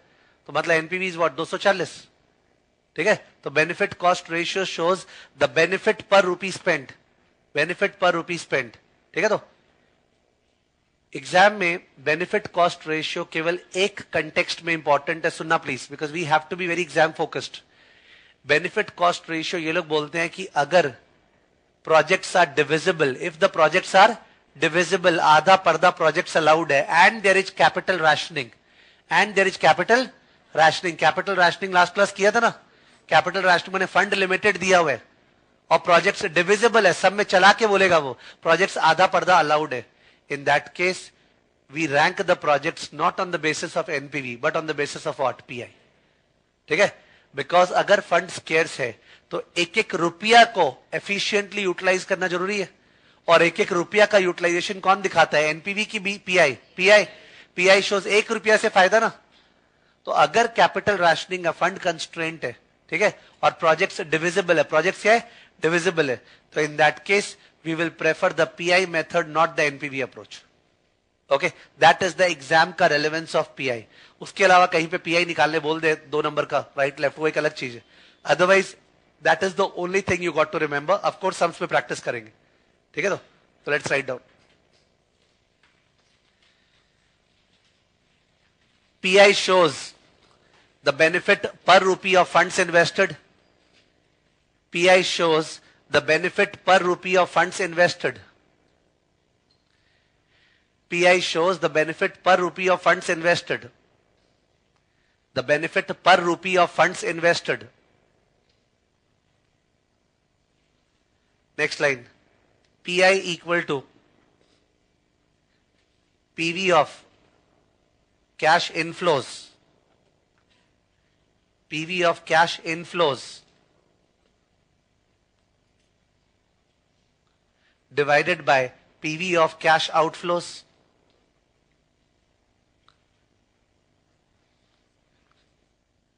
PV of cash inflows divided by PV of cash outflows. Normally project में टिपिकल प्रोजेक्ट में तो आउटफ्लो शुरू में ही होता है। Typical there could be cases और बीच में भी आउटफ्लो हो रहे बट टिपिकली तो शुरू में ही होता है। तो एक्चुअली नीचे वाला पार्ट पे तो इनिशियल इन्वेस्टमेंट आएगा। तो PV of the cash flows divide by initial investment ठीक है ना? तो PV of the cash inflows divide of PV of the cash outflows next line in our first problem in our first first I equal to P I equal to one two two seven point क्या? Eight three क्या? वो four twenty seven point eight three आया तो। One two two seven point eight three divided by what आठ सौ। One two two seven point eight three divided by आठ सौ equal to one point five three one point five three one point five three next line line. We should acknowledge, we should acknowledge that NPV, we should acknowledge that NPV greater than zero implies IRR greater than KC implies PI greater than 1. Is it not? NPV positive मतलब return KC से ज़्यादा है और NPV positive मतलब benefit cost से ज़्यादा है तो रेशियो मोर देन वन आएगा ठीक है तो इसका तो कोई एक्सेप्शन हो ही नहीं सकता है एनपीवी पॉजिटिव मतलब आयरर मोर देन केसी मतलब PI more than one and the project is what viable the project is viable project is viable. Okay, project is viable.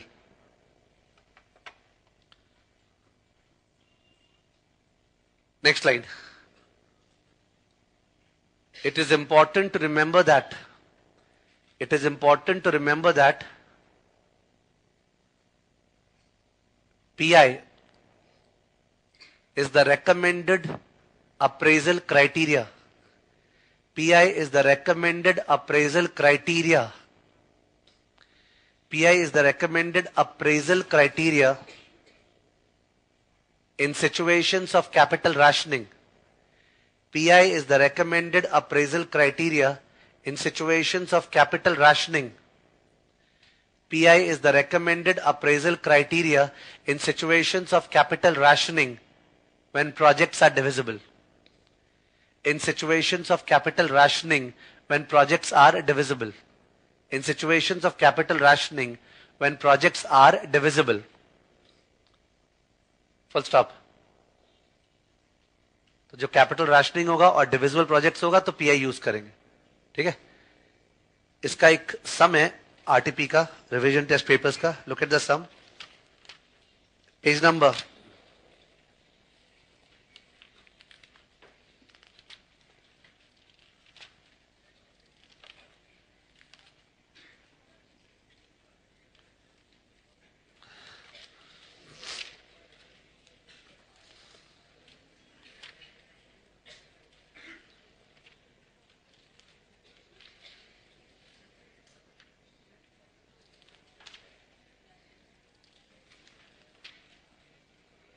Page number 169, question number 34. Page 169, question number 34.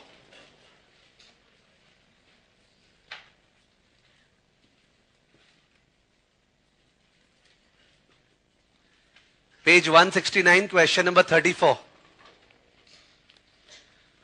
Question number 34. Alpha Limited is considering five projects for the years 2005-2006. Five projects 2005-2006. The company is financed in, by equity entirely, unlevered firm है, no debt. And its cost of capital is 12%. वही KC है वही के ही है अगर date ही नहीं है तो The expected cash flows of the project are as follows. तो प्रोजेक्ट ए में बी में सी में डी में कैश फ्लोज दिया हुआ है इन थाउजेंड से ठीक है all the figures are in thousands all projects are divisible that is size of investment can be reduced if necessary in relation to availability of funds. None of the projects can be delayed or undertaken more than once. Calculate which project Alpha Limited should undertake if the capital available for investment is limited to 1 lakh 10,000 In 2005 and with no limitations in subsequent years. तो 2005 में capital rationing है 2006 वगैरह में capital rationing नहीं है। For your analysis use the following present value factors ठीक है? तो let's have a look at the figures we find that 2005 में कितना पैसा चाहिए?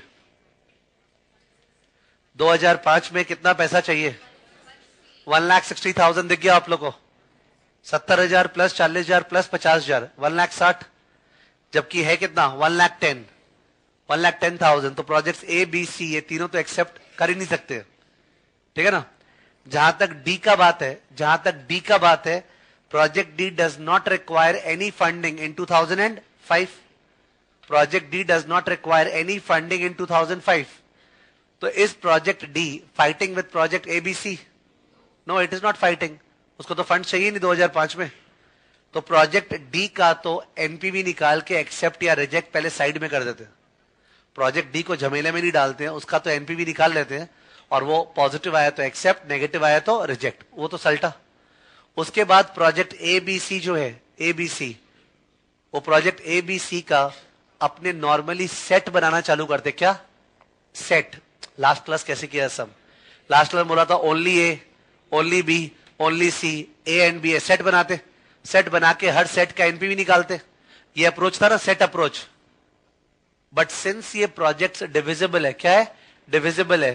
तुम नहीं बना सकता है सेट कारण क्या होगा सुनो। अगर तुम ओनली ए लिखेगा ओनली ए तो thing is that one lakh ten allowed है। तो वन लैख टेन जब अलाउड और सत्तर हज़ार है तो बाकी पैसा भी तो बी अस्सी में जा सकता है, आधा पर्दा। You can do half of B you can do half of C तो हाफ़ वन फोर्थ कैसे करेगा सेट इम्पॉसिबल है। तो डिविजिबिलिटी है और कैपिटल रैशनिंग है तो अपने ए बी सी तीनों का पीआई निकालेंगे। क्या निकालेंगे? पीआई कि यार एक रुपया खर्चा करने से कितना फ़ायदा होता है? बिकॉज़ एक रुपया भी तो खर्चा करना अलाउड है। डिविजिबल है ना? तो एक रुपया से कितना फ़ायदा होता है पता लगा लेते हैं।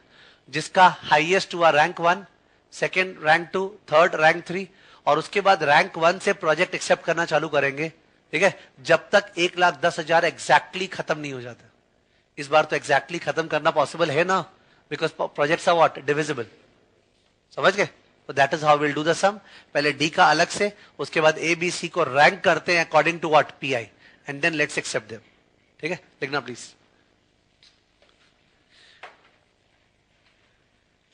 the firm faces the firm faces capital rationing the firm faces capital rationing the firm faces capital rationing in 2005. The firm faces capital rationing in 2005. Full stop. Project D does not require. Project D does not require. Project D does not require any funding in 2005.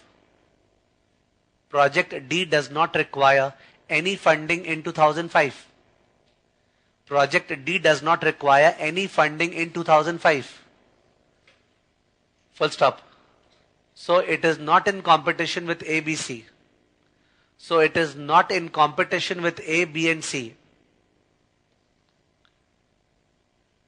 It is not in competition with A, B and C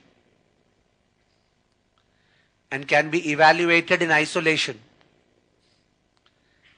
It is not in competition with A, B and C and can be evaluated in isolation. Can be evaluated in isolation. Full stop. Para change. NPV of project D. NPV of project D equal to equal to ठीक है ये लोग का factors use करेंगे जो दिया हुआ है एक बार लिखो मत देखो वहाँ पे और नंबर्स सुनना प्लीज़ तुमको समझ में आ रहा है क्या एनपीवी ऑफ़ प्रोजेक्ट डी में क्या बोल रहा हूँ, सुनना। Minus ninety thousand into point eight nine, plus fifty five thousand into point eight, plus sixty five thousand into point seven one. You got it हम लोग को आज एनपीवी निकालना ना, आज। तो जो नब्बे हज़ार जा रहा है, उसका भी पीवी की है कि माइनस नब्बे हज़ार इंटू पॉइंट एट नाइन नीचे फैक्टर है। प्लस पचपन हज़ार इंटू पॉइंट एट और प्लस पैंसठ हज़ार इंटू पॉइंट सेवन वन। हज़ार क्यों बोल रहा है? बिकॉज़ फिगर्स थाउजेंड्स में थे। Okay please write it equal to minus ninety thousand into point eight nine plus fifty five thousand into point eight and plus sixty five thousand into point seven one ठीक है? Minus ninety thousand into point eight nine plus fifty five thousand into point eight plus sixty five thousand into point बोलो। Ten thousand fifty one zero zero five zero कोई thousands में कर रहा है तो ten point zero five मैं openly बोला था तो ओपन करके टेन थाउज़ेंड फिफ्टी तो टेन थाउज़ेंड फिफ्टी तो पॉजिटिव आ गया। तो इसका मतलब project D is what accepted और रिजेक्टेड एक्सेप्टेड लिख दो so project D is accepted so project D is accepted Project D is accepted.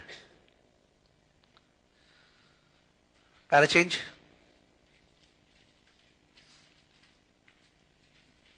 Since projects are divisible, since projects are divisible, since projects are divisible and there is capital rationing, since projects are divisible and there is capital rationing in 2005, and there is capital rationing in 2005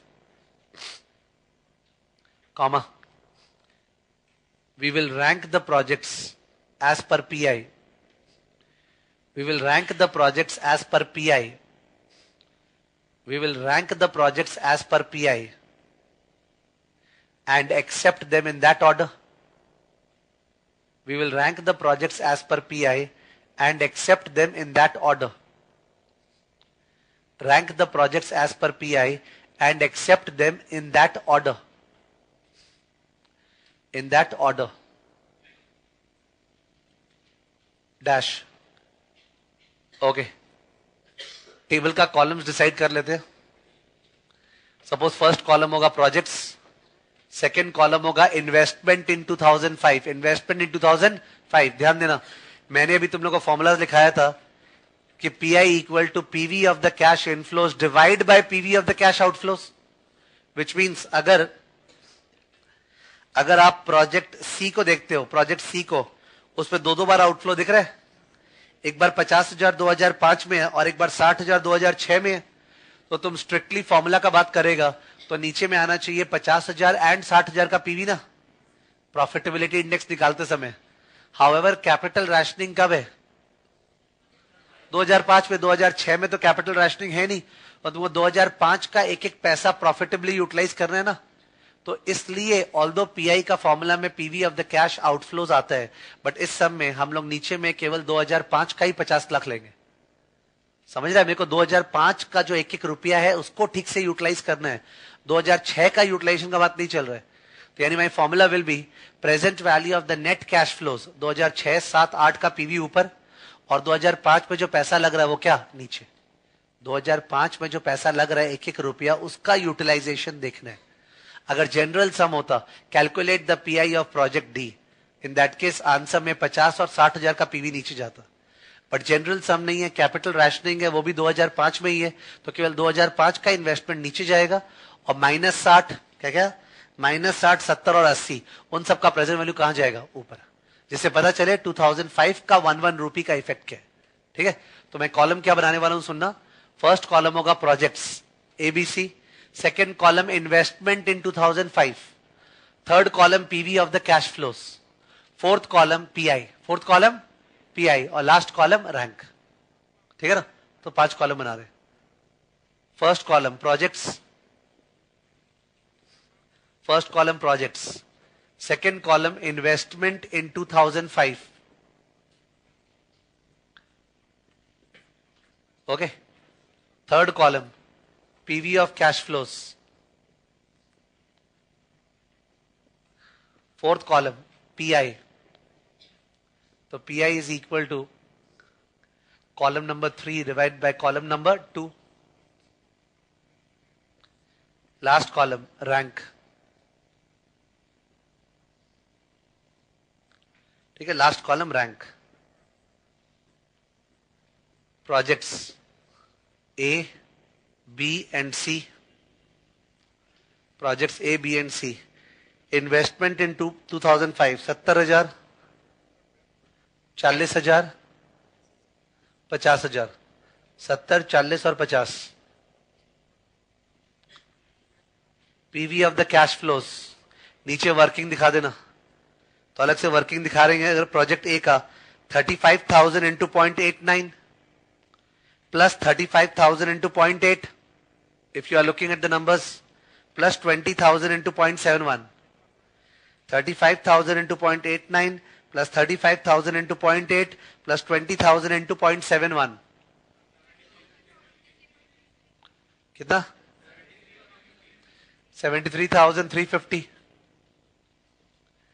73,350 project B का working नीचे दिखाओ minus thirty thousand into point eight nine plus forty five thousand into point eight plus fifty five thousand into point seven one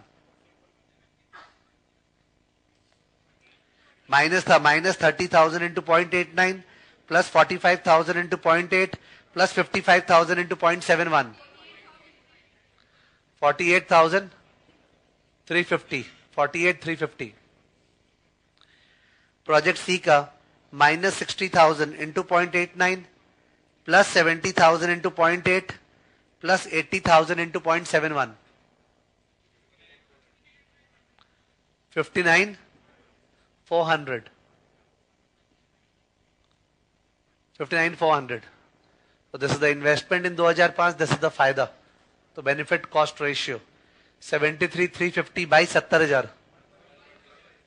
1.05 फिर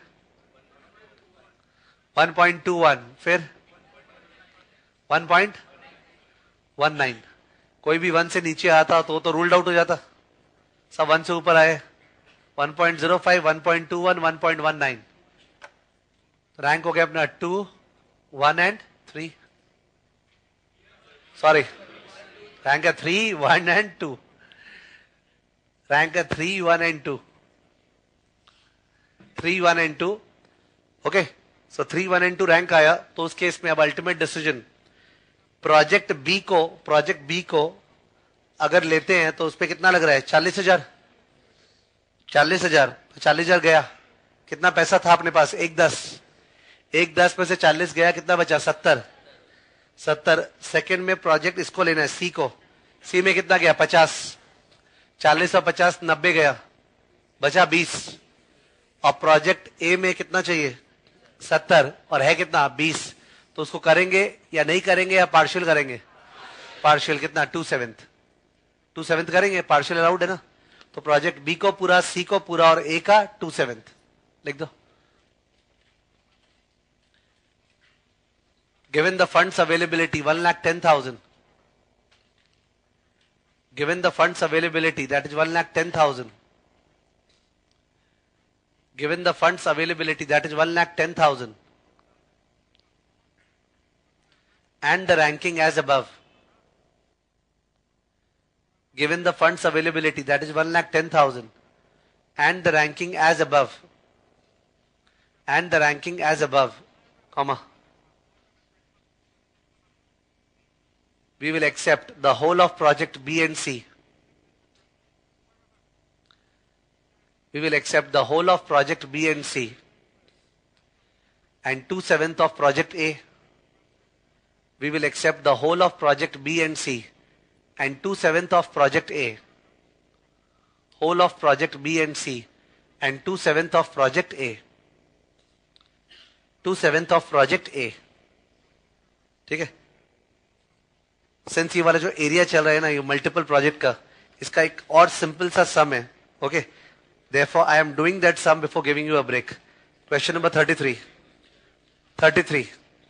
उसके ऊपर वाला sum page number 169 question number 33 page number 169 question number 33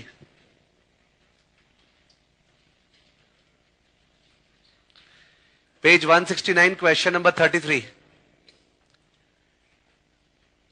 page 169 question number 33 a company is evaluating three investment situations. Number one, produce a new line of aluminum skillets. Number two, expand its existing cooker line to include several new sizes. Number three, develop a new higher quality line of cookers if only the, full stop, fair. If only the project in question is undertaken, the expected present values and the amount of investment are as follows. तो project one में दो लाख जाएगा, दो नब्बे आएगा NPV नब्बे। Project two project three वैसे दिया हुआ if project one and two are jointly undertaken there will be no economies okay वो इकोनॉमीज होगा इकोनॉमिक्स लिखा हुआ है। There will be no economies M I E S E C O N O M I E S there be no economies कोई फ़ायदा नहीं है the investment required and present value will simply be the sum of parts.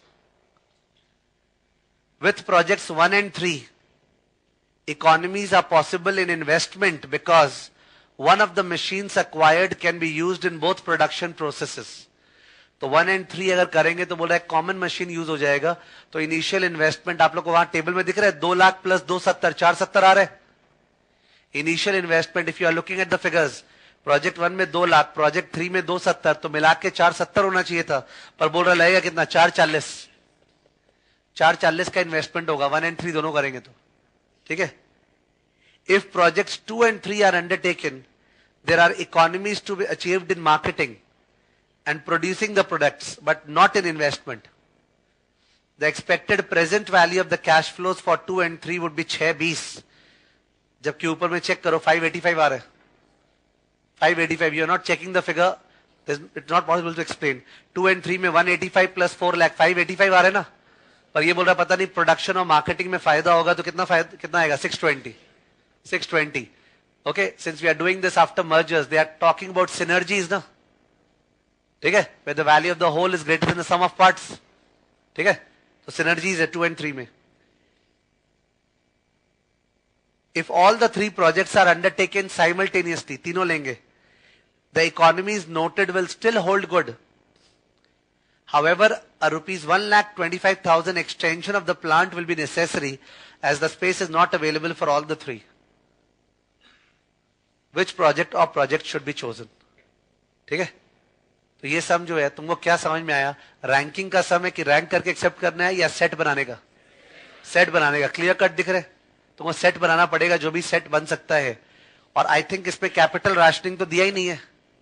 Fund constraint नहीं दिया है, केवल project interdependencies दिया है। क्या दिया है? प्रोजेक्ट इंटरडिपेंडेंसीज कि ये दोनों करेंगे तो ये होगा, ये दोनों करेंगे तो ये होगा। तो it's like reading the sum and doing the sum no knowledge required ठीक है तो? अपने पास कितना ऑल्टरनेटिव है? ओनली वन फिर? ओनली टू फिर? ओनली थ्री फिर? One and two one and three two and three one two three ये ऑल्टरनेटिव है बिकॉज़ कैपिटल राशनिंग दिया नहीं है ना। कैपिटल राशनिंग देता तो क्या पता कोई कोई ऑल्टरनेटिव छूट जाता। और सारे के सारे ऑल्टरनेटिव का एनपीवी निकालना है। और जिसका एनपीवी हाईएस्ट आएगा वो क्या होगा? बेस्ट ठीक है तो? तो मैं, माने I am trying to say ये कैटेगरी ऑफ़ सम्स को समझो। कभी भी एग्ज़ाम में ऐसा हो गया ना कि A B C D E ऐसे प्रोजेक्ट्स दिया हुआ है, पाँच, छह तो प्रोजेक्ट्स दिया हुआ है तो दो तरीके है सम करने का। एक तरीका होता है रैंक और एक तरीका होता है सेट एक होता है रैंक और एक होता है सेट रैंक वाला तरीका तब अपनाते हैं when projects are what divisible when projects are divisible PI ठीक है? और अगर प्रोजेक्ट डिविजिबल नहीं है तो क्या बनाते हैं? सेट और वो सेट को चुनते हैं, जिसका एनपीवी क्या होता है? हाईएस्ट समझ गया? तो ये वाला जो है, ये भी सेट अप्रोच का सम है। ठीक ना? Solution we will we will use the feasible combinations or set approach.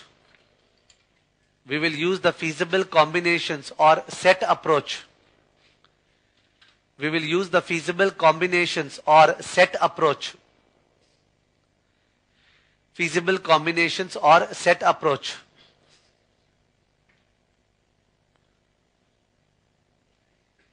Dash.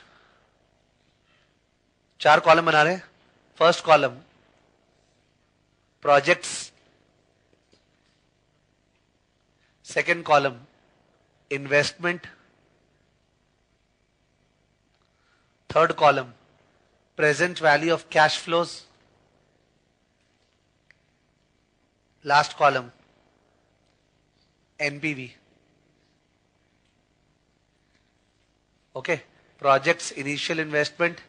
Present value of cash flows और फिर एनपीवी ठीक है? तो प्रोजेक्ट्स में डिसाइड क्या हुआ? Only one only two only three one and two one and three two and three one two and three okay initial investment project one में two lakhs project two में one lakh fifty one lakh fifteen thousand project three में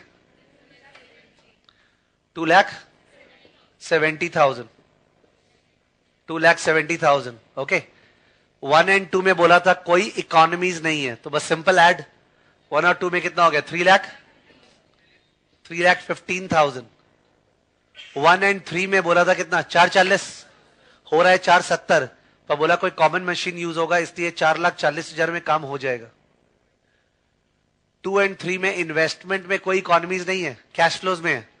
तो two and three में add three lakh eighty five thousand और one two and three में बोला था, जो इकोनॉमीज है, वो तो है ही, पर एक एक लाख पच्चीस हज़ार अलग से स्पेस का लगेगा।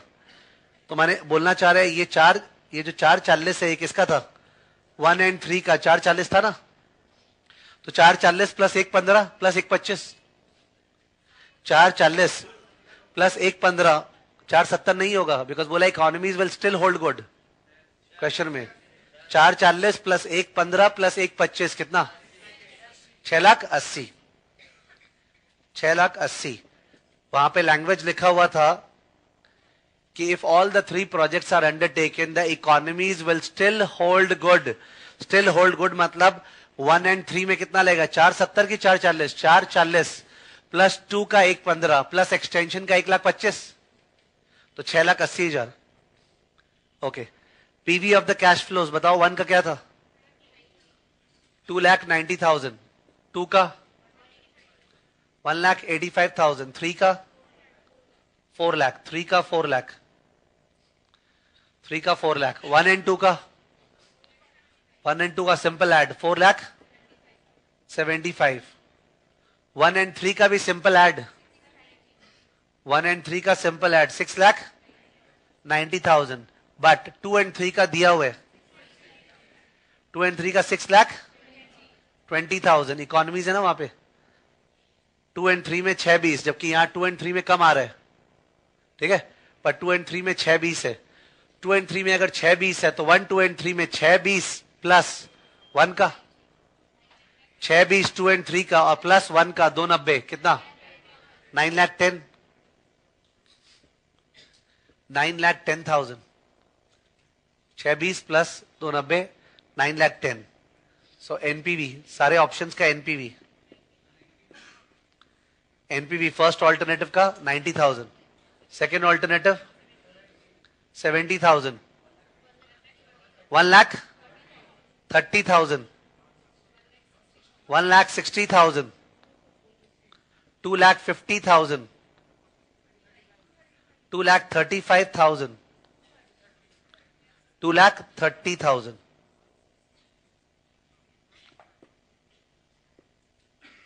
okay ये एनपीवी आए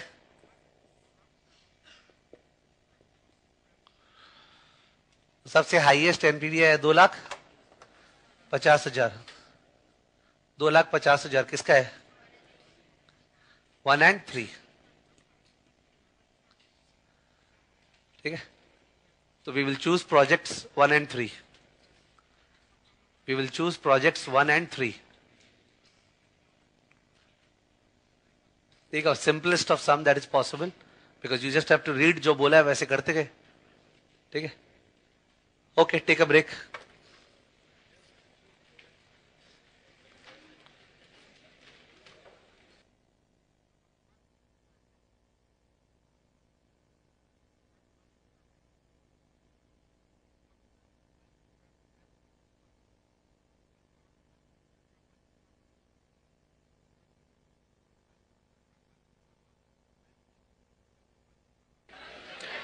Okay, let's continue.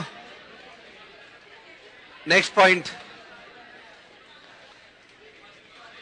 Point number five. Point number five, generation of project cash flows. Point number five, generation of project cash flows. Generation of project cash flows.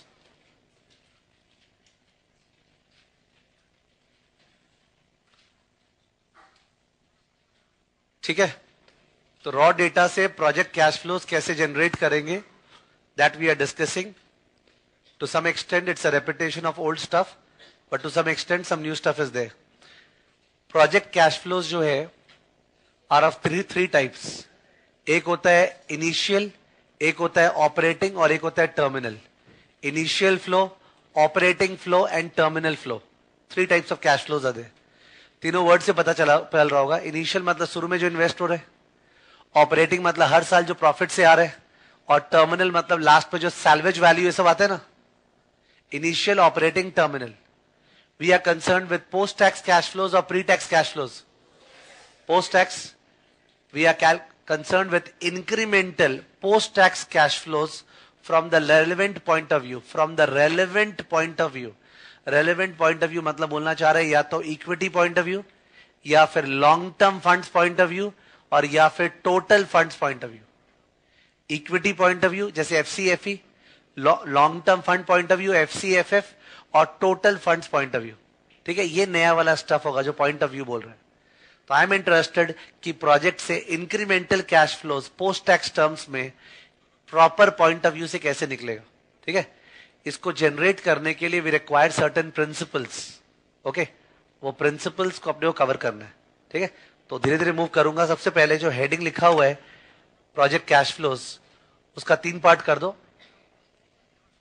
Initial flow operating flow terminal flow initial flow operating flow terminal flow initial flow operating flow terminal flow.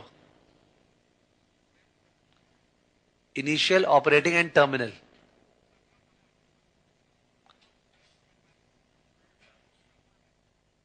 वो तीनों part करने के बाद वो तीनों part करने के बाद लिखना अलग से these cash flows are generated These cash flows are generated using the following principles. These cash flows are generated using the following principles. These cash flows are generated using the following principles. Dash number one, incremental principle. Incremental principle. These cash flows are generated using the following principles.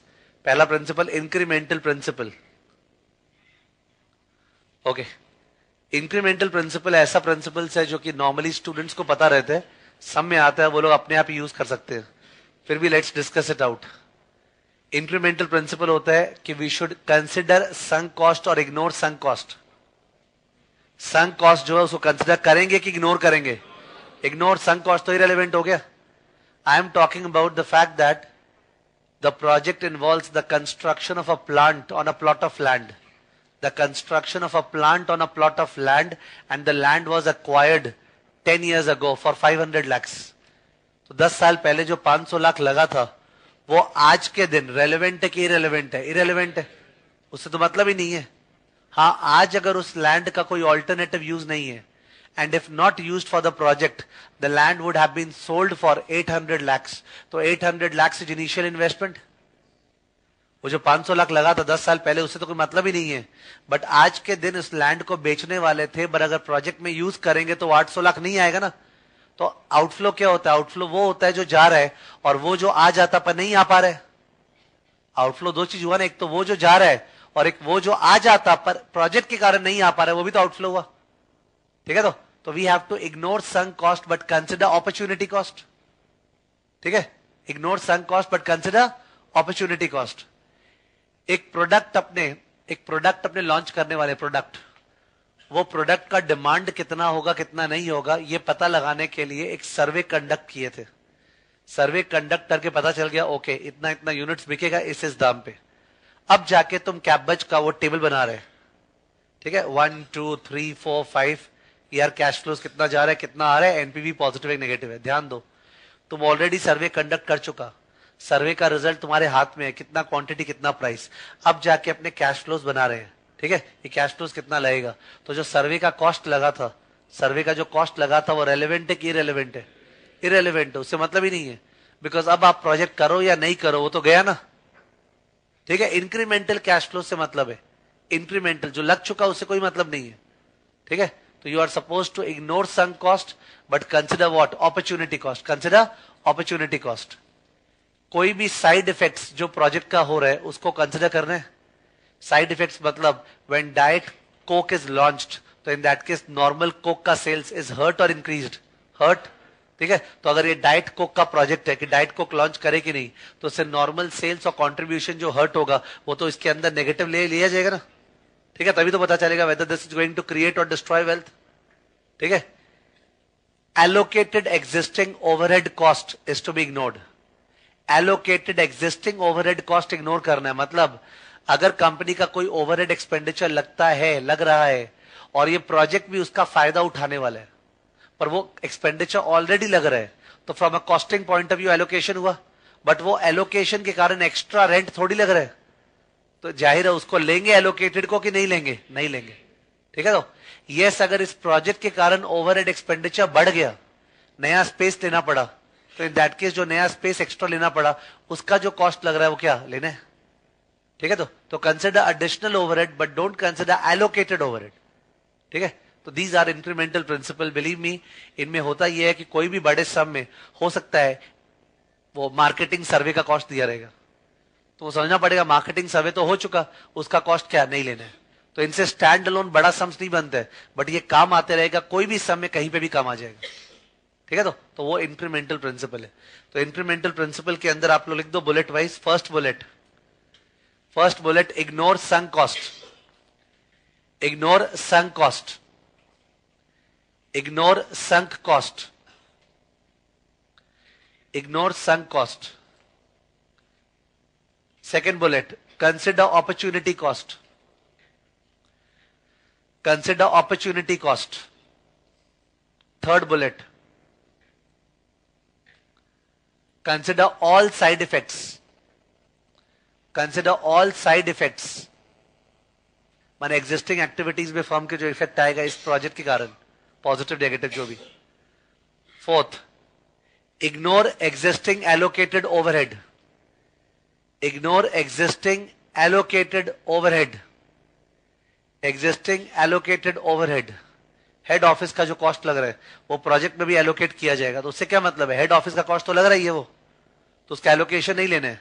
Ignore existing allocated overhead last bullet consider additional overhead expense if any consider additional overhead expense if any consider additional overhead expense if any additional overhead expense if any ठीक है? तो इसका stand alone sum नहीं बनता है, ये अपने आप काम आता रहेगा अपने आगे। Next point number two second principle second principle है cash flow principle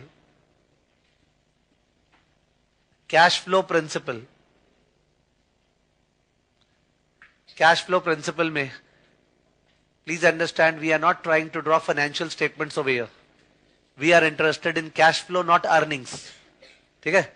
तो कैश फ्लो प्रिंसिपल में आपको केवल दो चीज़ जानना है, जिसमें से एक चीज़ तो बहुत बढ़िया से तुम लोग को आता है treatment of depreciation treatment of depreciation अगर सब में लिखता है इग्नोर टैक्सेस अगर सब में लिखा हुआ है इग्नोर टैक्सेस तो इन दैट केस डेप्रिसिएशन सब में काम आएगा कि नहीं आएगा? नहीं आएगा.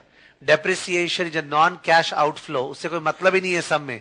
It is relevant only because of tax shield it is relevant only because of tax shield तो अगर टैक्स ही नहीं है सम में नो टैक्सेशन तो पूरे सम में डेप्रिसिएशन कोई काम का नहीं है।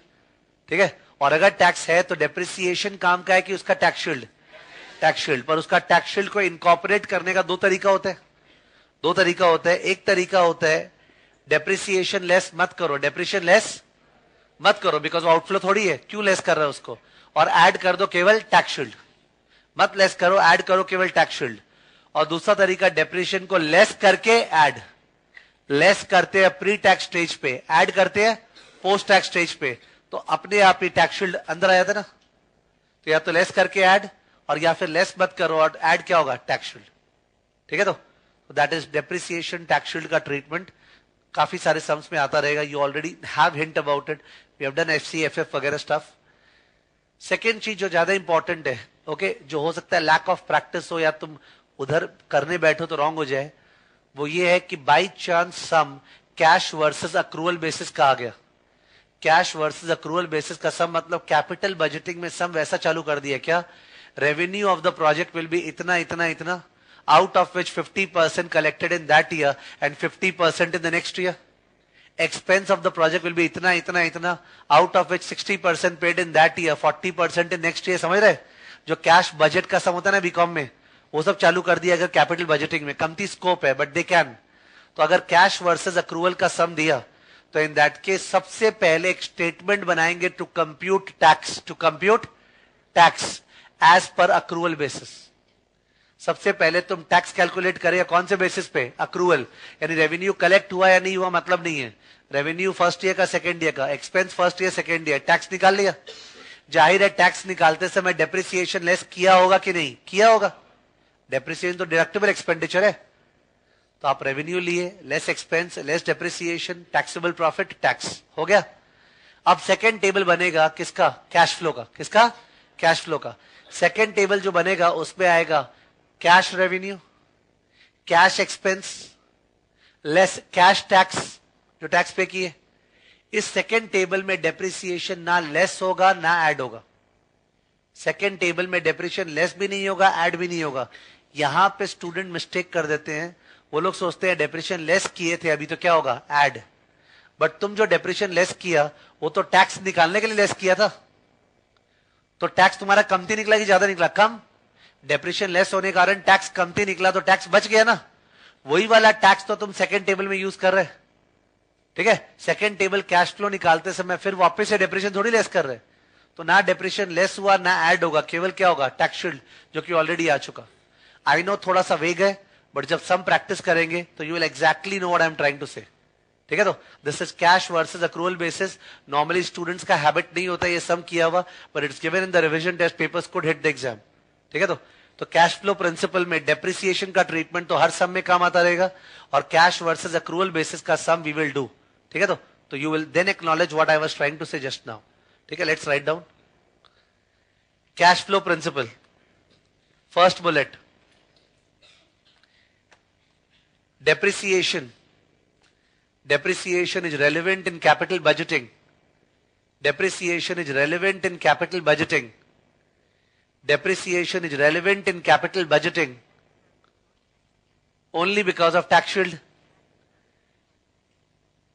Depreciation is relevant in capital budgeting. Only because of tax shield. Full stop to incorporate DTS.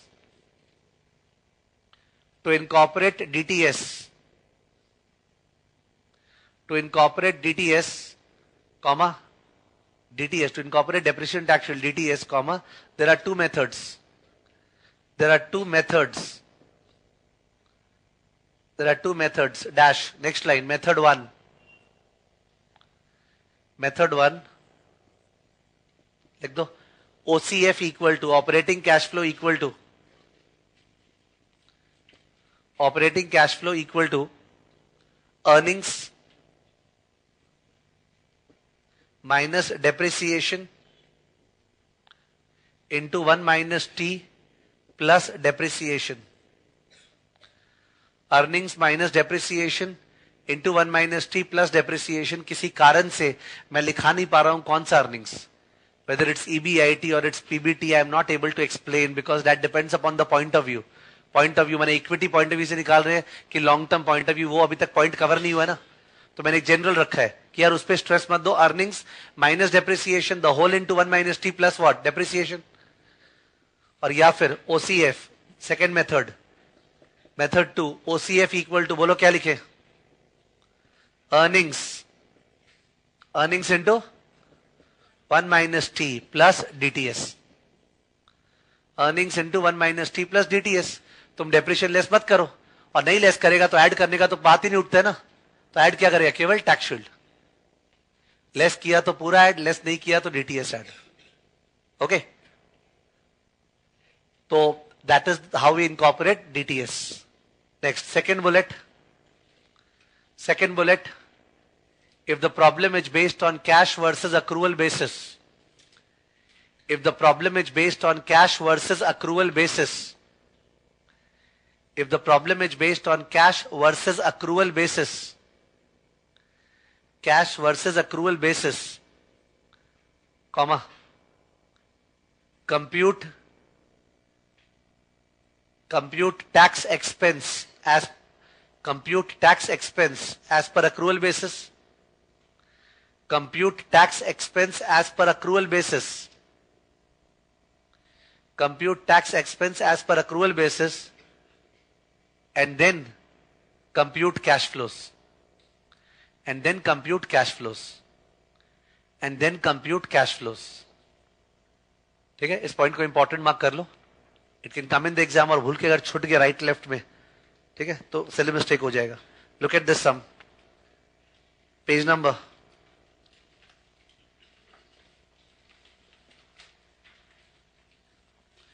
Page number 156, question number 4. Page 156, question number 4.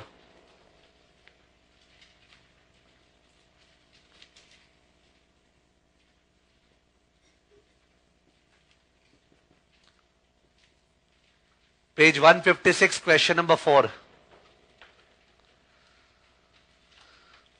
Question number 4, page 156. Look at the sum. Golden Pond Company operates in Orlando, Florida. The firm is considering building an additional amusement park that will have wild water, wave pool and all that. Since all firm sales are for cash, cash inflow from sales and gross revenue are identical. तो revenue के मामले में बोल रहा है cash versus accrual basis नहीं है जो बेच रहे हैं पैसा आ जा रहा है the firm's variable cost amount to 50 percent of revenue with 60% of these paid in cash and 40% on credit for one year. यहां पे कैश वर्सेस अक्रूवल बेसिस आ गया ना new investment is 200 million 100 million equipment and 100 million in building and rupees 10 million investment in net working capital net working capital as in CA minus CL ठीक है तो तो all अभी focus नहीं कर पा रहा हूं but still I am trying to say some long term point of view का है ना प्लांट मशीनरी और बिल्डिंग में कौन इन्वेस्ट करता है? शॉर्ट टर्म की long term long term fixed asset पे तो लॉन्ग टर्म पैसा लगाता है। और करंट एसेट का पैसा लॉन्ग टर्म भी लाता है शॉर्ट टर्म भी लाता है। तो अगर आप करंट एसेट में से करंट लाइबिलिटी हटा के इन्वेस्टमेंट मान रहे हो तो शॉर्ट टर्म को हटा दिए ना। सीए माइनस सीएल तो सीएल को तो हटा दिया। तो you are doing sum from which point of view long term point of view discount rate KC discount rate KC इसी चीज़ पे फोकस होने वाला इसके नेक्स्ट पॉइंट पे। कैश फ्लो प्रिंसिपल खत्म हो जाए, तब पॉइंट ऑफ़ व्यू जब बताएगा then I will be able to open out many things okay तो यहाँ पे समझ में आया 210 लाख का इनिशियल इन्वेस्टमेंट है। कौन कर रहा है ये investment long term fund Golden Pond will depreciate the equipment by accelerated method by which relative by which relatively high proportion of assets value are depreciated in early years over four years and building language में सवाल golden pond will depreciate equipment by accelerated method ठीक है over four years and building will be depreciated over 31.5 years तो equipment में accelerated method of depreciation लगाना है अपना जो हैबिट है एक्सेलरेटेड मेथड का तो अपना हैबिट कौन सा है डब्ल्यू डीवी WDV सिस्टम में क्या होता है? Depreciation rate remains what same but it is applied on the diminishing balance ना? ठीक है?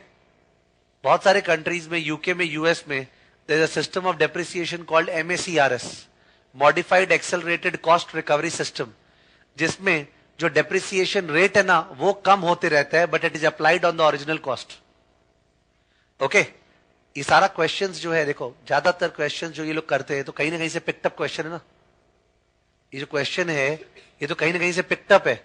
वरना ये जो लैंग्वेज चल रहा है accelerated method and all that मतलब क्या आपने को इंडियन में तो क्या होगा? डब्ल्यू मेथड तो जब पिकटअप सम हुआ कहीं से तो क्या पता वैसा डेप्रिसिएशन का क्लॉज दे दे, जिसमें डेप्रिसिएशन रेट हाई से लो होता रहेगा, पर वो अप्लाई किस पे होता है? ओरिजिनल कॉस्ट इफ़ेक्ट सेम ही है। डेप्रिसिएशन पहले कम आए, ज़्यादा आएगा, फिर क्या आएगा? कम। और हम लोग क्या यूज़ करते हैं यहाँ पे? डब्ल्यू जिसमें रेट क्या रहता है? सेम और लगता किस पे है? डिमिनिशिंग बैलेंस ठीक है तो? You will understand now when you look at the figures equipment का डेप्रिसिएशन देखो। इक्विपमेंट का डेप्रिसिएशन रेट जो दिया है वो चारों मिला के, देखना कितना आ रहा है। इक्विपमेंट का डेप्रिसिएशन रेट चारों साल का मिला के कितना आ रहा है?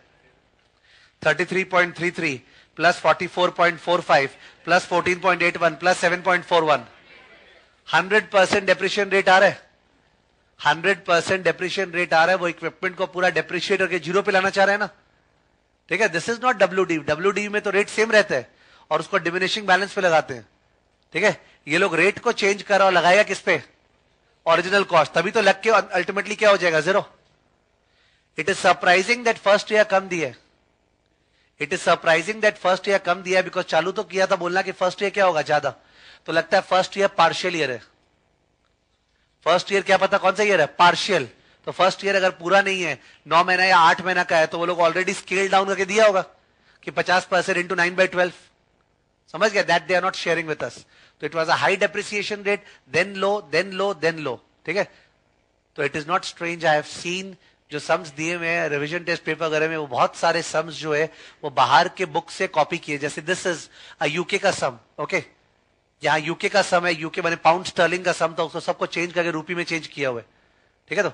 तो they could have such depreciation in the exam what is the problem there is no issue with आपने जो रेट दिया रहेगा, किस पे लगाएँगे? ओरिजिनल कॉस्ट ठीक है तो? बिल्डिंग का डेप्रिसिएशन रेट 3.04 टू 3.175 3.175 वो तो 31.5 ईयर स्ट्रेट लाइन बोला है ना? ठीक है? नाउ अपना कैलकुलेशन इतना इजी होने वाला है कि इक्विपमेंट ऑफ़ बिल्डिंग पिछले पेज में सौ सौ का था। कितने का था? सौ मिलियन सौ मिलियन तो 100 मिलियन में डेप्रिशन रेट क्या लगाएगा? जो रेट है वही तो अमाउंट है। तो कैलकुलेशन तो एकदम स्ट्रेट वे पिकअप होने वाले बिकॉज़ सौ सौ पे लगाना है। Next golden pond estimate annual sales of 400 million for each of the next four years चार सौ चार सौ चार सौ as a result of the new project the after tax cash flow from other amusement parks will decline by 20 million year side effect ये golden pond लगता है amusement park खोलता रहता है। तो ये तो नया वाला पार्क खोलने वाले ना। तो बोले, नया वाला पार्क खोलेंगे तो इस विसिनिटी के जो लोग हैं, वो दूसरे वाले पार्क में जाना बंद कर देंगे। तो अदर पार्क में कितने का लॉस होगा? ट्वेंटी मिलियन है वो तो इस प्रोजेक्ट में माइनस आएगा ना। इसके कारण लॉस हो रहे the firm already paid rupees twenty five million on an after tax basis for research and development of the new project क्या? सन कॉस्ट भूल के भी ट्वेंटी फाइव मिलियन को इनिशियल इन्वेस्टमेंट ले लिया तो रॉन्ग हो जाएगा। Sunk cost already paid R and D के लिए मार्केटिंग सर्वे के लिए ओके तो sunk cost value of building in the Orlando area is expected to increase to an estimated hundred and ten million after four years चार साल बाद salvage value चाहिएगा ना? तो बिल्डिंग का सैलवेज क्या बोल रहा है? एक सौ दस। Value of equipment after four years will be zero equipment का salvage zero assume that the after tax KC is fifteen percent cost of capital and tax rate is 34%. Firm uses vacant land for the new attraction and it has no alternative use for the land for the next four years. No opportunity cost. On a land का opportunity cost बोल सकता था should the company proceed with the project? Now the sum is important only because of one thing is sum में वो जो variable cost दिया था ना 60% paid this year and 40% next year. I know that's not a high-fi thing, But normally कैबज का जितना भी sums होता है ना, उस पर ये सब नहीं बोलते। कैबज के सम में कैश वर्सेज अक्रूवल नहीं होता तो अपना प्रैक्टिस नहीं है उनका। ठीक है? Therefore, you should be exposed to the sum. You should know that is sum में कैश वर्सेस अक्रूवल है। ठीक है तो? तो इसको कैसे अटेम्प्ट करना है? तो नथिंग हाई फाई केवल डिफरेंट सम है बिकॉज़ कैश वर्सेज अक्रूवल का है। आई सेट सबसे पहले क्या निकालेंगे? इनकम टैक्स कौन से बेसिस पे? Accrual let start solution calculation of tax calculation of tax expense as per accrual basis calculation of tax expense as per accrual basis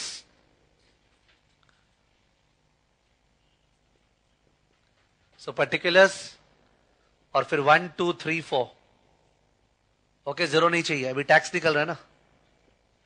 Particulars and then one two three four चलो item number A revenue तो revenue तो ये लोग का 400 400 है। Every year revenue 400 400 item number B variable expense variable expense अपना भी accrual basis चल रहा है तो कैसे पे किया उससे मतलब नहीं है। लिया हुआ, लिखा हुआ था variable expense 50 percent of revenue you can check out 50 percent revenue क्या हो गया? 200 200 ओके 200 तो रेवेन्यू हो गया वेरिएबल एक्सपेंस हो गया। डेप्रिसिएशन डेप्रिसिएशन डैश उसी में दो पार्ट एक हो गया इक्विपमेंट दूसरा हो गया बिल्डिंग डेप्रेशन इक्विपमेंट और डेप्रेशन बिल्डिंग फिगर्स कॉपी करना है डेप्रेशन रेट का बिकॉज़ सौ पे लगाना है ना? तो फिगर्स कॉपी करते क्या था? Thirty three point three three next 44.45 next. 14.81 next. 7.41 उसका भी कॉपी बिल्डिंग वाले का बोलो three point three point zero four two three point one seven five through out ठीक है three point one seven five revenue हो गया एक्सपेंस हो गया डेप्रिसिएशन हो गया. टैक्स निकालने के लिए और कोई भी आइटम है क्या? टैक्स निकालने के लिए और कोई भी आइटम है क्या सब में? नहीं है ना? वो जो अदर एम्यूजमेंट पार्क का बोला था ना, वो तो आफ्टर टैक्स दिया हुआ है. अदर एम्यूजमेंट पार्क से जो लॉस होगा, वो तो दिया हुआ है ना आफ्टर टैक्स ट्वेंटी मिलियन तो वो तो ऑलरेडी पोस्ट टैक्स दिया हुआ उसका तो कोई मतलब नहीं है यहाँ पे. तो in that case taxable profit next item taxable profit taxable profit बोलो 400 में से ये तीनों गया।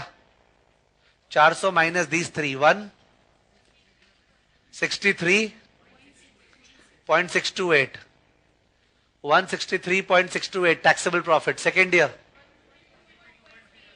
one fifty two point three seven five third year one fifty two point one eighty two point zero one five last year one eighty one eighty nine point four one five one eighty nine point four one five वो depreciation three decimal place पे दिया हुआ था ना, इसने एक बार three चला दिया, अब टू पे आ जाते हैं, ठीक है ना? तो ये अपना टैक्सेबल प्रॉफिट हो गया। Taxable profit. Next item. Tax at the rate of 34%. Tax at the rate of 34%. Two decimal place pe bolo. Tax at the rate of 34%. Speak out. 55. 6. 55.63. Second year. 51.81. Third year.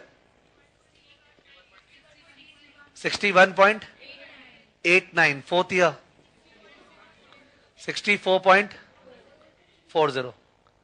ठीक है? That's it the purpose of this table was not to get the cash flow but to get the tax ये tax आ गया। चारों साल का। और please ये समझो कि डीटीएस डेप्रिशन का जो टैक्स एडवांटेज है, वो यहाँ पे कैप्चर्ड हो चुका कि होना बाकी है?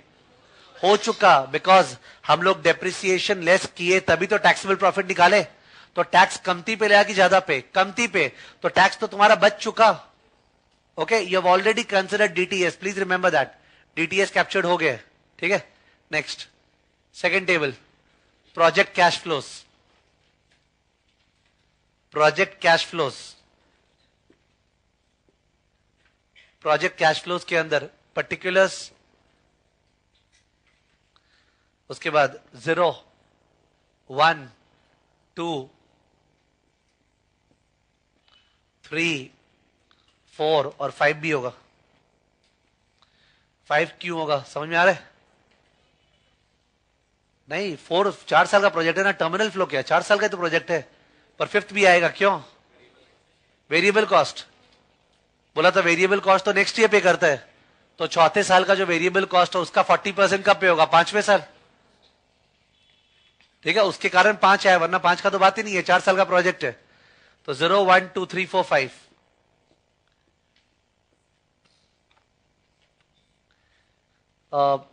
presentation कैसे होता है सुनना?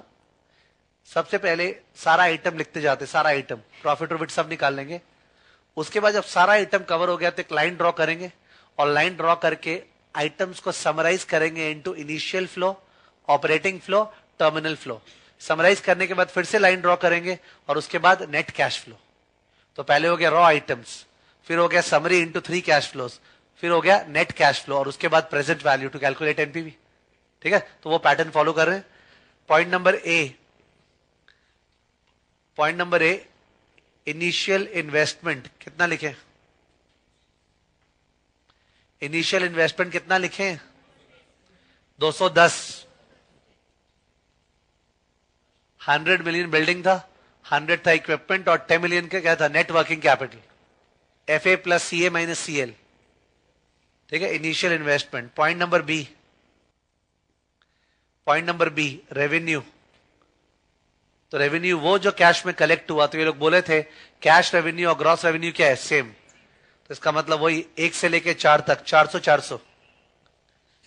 एक से लेके चार तक, चार सौ चार सौ. एक से लेके चार तक चार सौ चार सौ। फिफ्थ ईयर तो कोई रेवेन्यू है नहीं। Next point number B point number C sorry variable expense paid variable expense okay payment basis पे। वेरिएबल एक्सपेंस तो वेरिएबल एक्सपेंस वैसे तो 50 परसेंट दो सौ है, पर 200 का 60 percentage paid in that year 120 उसके बाद नेक्स्ट ईयर यहाँ का 80 और वहाँ का 120 फ़र्स्ट ईयर वाला 80 सेकेंड ईयर का 120 कितना? 200 third year 200 fourth year 200 fifth year 80 okay fifth year 80 fifth year 80 कोई चाहे तो ऐसे भी कर सकता है कि सिंस वो 80 एक लौता आइटम है जो फिफ्थ ईयर में है ना तो जानबूझ के 80 का प्रेजेंट वैल्यू करके इसमें ऐड करके लिख दिया। 80 को पाँच से चार पे टान के इसमें लिख दिया, तभी भी चलेगा बिकॉज़ अल्टीमेटली तो 80 वो टनेगा ही ना। समझ गया? But we have shown it separately you could have done 80 divide by 1.15 और उसको ऐड करके 200 में लिख देते। ठीक है ना? तो तुम्हारा चार के बदले, मैंने पाँच के बदले चार का केवल कॉलम बनता। नेक्स्ट वेरिएबल एक्सपेंस के बाद number D number D tax tax जो निकाला हुआ है, कितना कितना? क्या? 55.63 फिर? 51.81 फिर? 61.89 फिर? 64.40 वन टू थ्री फोर में tax number E number E loss on other amusement park loss on other activities loss on other activities वो ऑलरेडी पोस्ट टैक्स दिया हुआ था। स्ट्रेट अवे कॉपी करना है। लॉस ऑन अदर एक्टिविटीज़ क्या था? Twenty million first four years जब तक लाइफ है प्रोजेक्ट का। Twenty million twenty million loss other activities ठीक है? नंबर एफ़ हम बोला था पहले हम रॉ आइटम्स उतार रहे हैं, सारा रॉ आइटम लिखते जा रहे हैं। फिर समराइज करेगा कि इसका कैश फ्लो क्या हो गया वगैरह, बात का बात है। नंबर एफ़ एक मिनट जो इक्विपमेंट है इक्विपमेंट उसका बुक वैल्यू और सैलवेज वैल्यू दोनों ज़ीरो है। इक्विपमेंट का चार साल बाद बुक वैल्यू और चार साल बाद सैलवेज वैल्यू दोनों ज़ीरो आपको पता है ना? तुम लोग चारों ऐड किए थे डेप्रिशिएशन सौ परसेंट आ रहा था तो गया। और सैलवेज वैल्यू ज़ीरो वो लोग बोला था तो इक्विपमेंट का ना बुक वैल्यू ना सैलवेज वैल्यू कोई tax shield point of view से भी कुछ बच नहीं सकता है। तो इक्विपमेंट का तो सैलवेज वैल्यू नहीं ले बिल्डिंग का लेने। तो number F salvage value of building इस पे इनकम टैक्स सब दिखाना पड़े, पड़ेगा ना वो कैपिटल गेन टैक्स वगैरह तो इसलिए ये वर्किंग नोट में जाएगा। Salvage value of building working note में जाएगा। आगे कंटिन्यू करो ई एफ़ जी कोई भी सम में कैपबज में, बोले या नहीं बोले working capital is assume to be recovered in full working capital में पैसा लगा है ना और अगला साइलेंट है, वो पैसा डूब गया ये आप मान नहीं सकते हो। बिकॉज़ वो पैसा तो कैश में लगा था, लिखा था मेनली कैश ठीक है तो? तो you have to understand and assume that working capital is recovered in what full तो इसलिए recovery of working capital recovery of working capital fourth year के एंड में टेन। फोर्थ ईयर के एंड में टेन। फोर्थ ईयर के end में ten recovery of working capital ठीक है? सारा आइटम्स ओवर हो गया लाइन ड्रॉ कर दो। लाइन ड्रॉ करने के बाद H initial flow I operating flow J terminal flow initial flow operating flow terminal flow initial flow फिर ऑपरेटिंग फ्लो टर्मिनल फ्लो तो इनिशियल फ्लो तो जो इनिशियल इन्वेस्टमेंट था, कितना था? 210 ज़ीरो के अंदर। इनिशियल फ्लो तो जो इनिशियल इन्वेस्टमेंट था 210 ज़ीरो के अंदर नेगेटिव ऑपरेटिंग फ्लो जो ऑपरेटिंग फ्लो उसके लिए let's check item number B minus C minus D minus E okay B minus C minus D minus E लिख देना ब्रैकेट में वहाँ पे. B minus C minus D minus E item number B revenue minus variable खर्चा जो pay किए minus tax जो pay किए minus loss on other activities बोलो. B minus C minus D minus E क्या? Two zero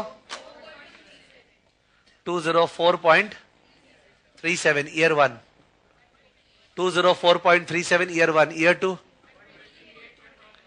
128.19 third year. Third year? 118.11 118.11 fourth year? Fourth year 115.6 fifth year minus 80 fifth year minus 80 item number B minus C minus D minus E की है। ठीक है? Fifth year minus eighty ठीक है? इधर में एकदम भी नहीं सोच रहा है कि सर डेप्रेशन एड बैक होगा, आप लेस किए थे। लेस किए थे तो क्या इस टेबल में लेस किए हैं? यहाँ क्या लेस किए, नहीं लेस किए? ऐड करने का बात ही कहाँ उठता है? हम तो लेस किए थे टैक्स निकालते समय जिससे डीटीएस आ जाए। और डीटीएस चाहिए या नहीं चाहिए? चाहिए। तो ये जो टैक्स यूज़ किए टैक्स कहा टैक्स ये टैक्स तो कमती आया हुआ है। क्यों? बिकॉज़ डेप्रिशिएशन का डिडक्शन लेके टैक्स आया था। तो डेप्रिसिएशन जो टैक्स का फ़ायदा होता है, वो तो हो चुका ना इसके अंदर। अगर डेप्रिशिएशन लेस नहीं करते टैक्स आता सत्तर पिछहत्तर वो पंद्रह लाख जो बचा, वो पंद्रह लाख तो बचा, बच के ही तो टैक्स आया। समझ गया? तो डेप्रेशन लेस करके एड का तुमको रिदम लगेगा बिकॉज़ अभी भी सब में तुम लेस किए तुमको लगेगा एड होगा। बट वो कब होता है? वो तब होता है जब, एक मिनट वापस इस सम पे आते हैं। अगर इस सम में कैश वर्सेस अक्रूवल बेसिस नहीं होता ठीक है? तो तुम ऐसे चालू करता 400 माइनस खर्चा 200 वगैरह वगैरह। तो तुम्हारा ये टैक्स आता, तुम निकालता taxable profit minus tax post tax profit वो पोस्ट टैक्स प्रॉफिट जो निकालता, वो पोस्ट टैक्स प्रॉफिट में डेप्रेशन फालतू का लेस हुआ हुआ है। अब इसमें क्या करता? एड समझ गया? बट तुम तो पोस्ट टैक्स प्रॉफिट से कुछ कर रहा ही नहीं, तुम तो जो टैक्स निकाला, वो टैक्स को सेकंड वाले टेबल में ले गए। और ये टैक्स तो कमती आया ही था बिकॉज़ डेप्रेशन का डिडक्शन हो गया। ठीक है तो? तो लेस करके ऐड का बात ही नहीं उठता है। हम कौन सा वहाँ का पोस्ट टैक्स प्रॉफिट यूज़ कर रहे हैं? हम लोग तो फ्रेश वापस से यहाँ कैलकुलेशन किए। और यहाँ कैलकुलेट करते समय डेप्रेशन लेस किया है क्या? कहाँ लेस किया? कहीं लेस नहीं किया। तो ऐड क्यों करेगा? ठीक है तो? और व्हाट अबाउट डीटीएस डीटीएस हो गया कैप्चर्ड बिकॉज़ ये इनकम टैक्स तो डेप्रेशन लेस करके ही आया था। समझ गए? सो अकॉर्डिंगली वो कंफ्यूजन नहीं हो। टर्मिनल फ्लो टर्मिनल फ्लो कौन सा हो गया? Item number F plus G terminal flow item number F plus G पर एफ़ निकालना बाकी है। खैर लेआउट कंप्लीट हो रहे item number F plus G line draw कर दिए। लाइन ड्रॉ करके net cash flow net cash flow is h plus i plus j net cash flow is h plus i plus j h plus i plus j ठीक है? तो अपना 210 is okay यहाँ कोई risk नहीं है। First year का 204.37 is also okay second year का 128.19 थर्ड ईयर का 118.11 फोर्थ ईयर का आई कांट राइट बिकॉज़ यहाँ पे टर्मिनल फ्लो आना बाकी है। टर्मिनल फ्लो बाकी है ना? निकाले कहा है? अभी तक तो वो बिल्डिंग का निकालना बाकी है।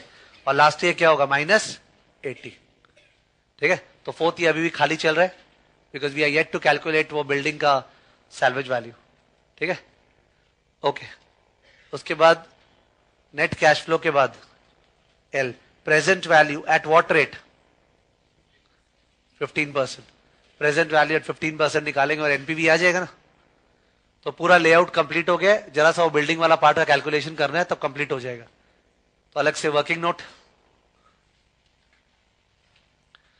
working note salvage value of building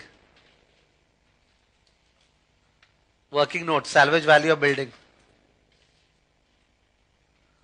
okay तो book value after four years बताना। बुक वैल्यू बोल रहा हूँ। Book value after four years building सौ का था। चारों साल का डेप्रिसिएशन लेस करके बताइए। बिल्डिंग सौ का था ना? चारों साल का जो डेप्रिसिएशन है, कौन सा डेप्रिसिएशन है? ये रहा। चारों साल का डेप्रिसिएशन ये सब। Hundred minus this minus this minus this minus this okay hundred minus चारों साल का डेप्रिसिएशन क्या? Eighty seven point four three three ये बुक वैल्यू है बिल्डिंग का चार साल बाद। Next line salvage value salvage value after four years equal to hundred and ten दिया हुआ सब में। फोर इयर्स के बाद बिल्डिंग का वैल्यू 110 होगा। तो क्या हो रहा है? कैपिटल गेन की capital loss gain capital gain capital gain कितना? 22 पॉइंट, ठीक है, फाइव सेवन अप्रॉक्स कर देते twenty two point five seven approx. Therefore, tax at the rate of 34 percent tax at the rate of 34 percent, बोलो। 7.67 7.67 यानी कि बेच के 110 आएगा, और टैक्स जाएगा 7.67 तो 110 माइनस 7.67 लिख दो there post tax salvage value post tax salvage value post tax salvage value is 110 minus 7.67 post tax salvage value 110 minus 7.67 कितना? 102.33 ठीक है? Such silly mistakes will not be entertained कि तुम कैपिटल गेन में से टैक्स लेस करेगा। Post tax capital gain नहीं निकालना है। पोस्ट टैक्स सैलवेज वैल्यू निकालना है। Salvage value minus tax not capital gain minus tax भूल के हो जाता है रिदम में। ठीक है तो? डोंट डू दैट तो 102.33 let's go back to the table तो टेबल में जो आइटम नंबर एफ़ था। Item number F item number F में चौथे साल के नीचे। 102.33 वर्किंग कैपिटल तो आया ही टेन मैं तो आइटम नंबर कौन सा था? एफ़ ना एफ़ के सामने बोल रहा हूँ।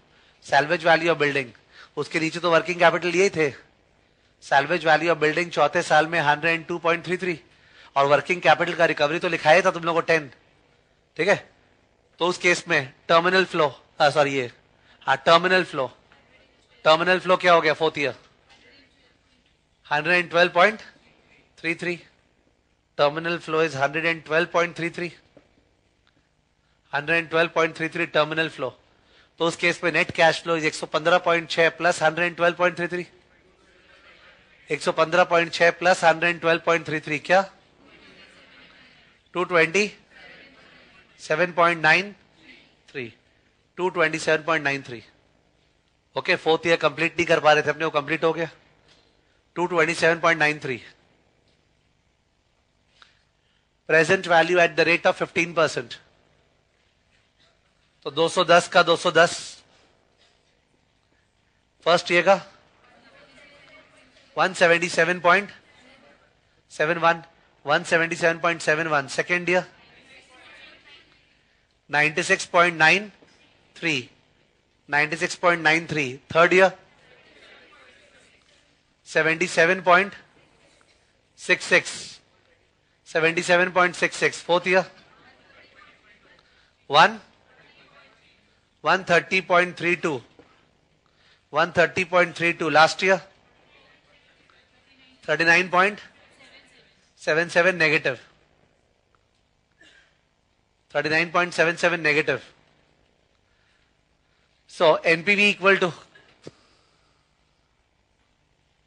NPV equal to क्या NPV equal to 232.85 क्या मिलियंस चल रहा है क्या? Okay rupees two thirty two point eight five million ठीक है? The project is viable 232.85 million the project is viable पूरे में केवल एक अजम्पशन लिया है क्या? Working capital is recovered in full लिखा हुआ नहीं था वी हैव अज्यूम्ड कि working capital is recovered in full ठीक है? Working capital is recovered in full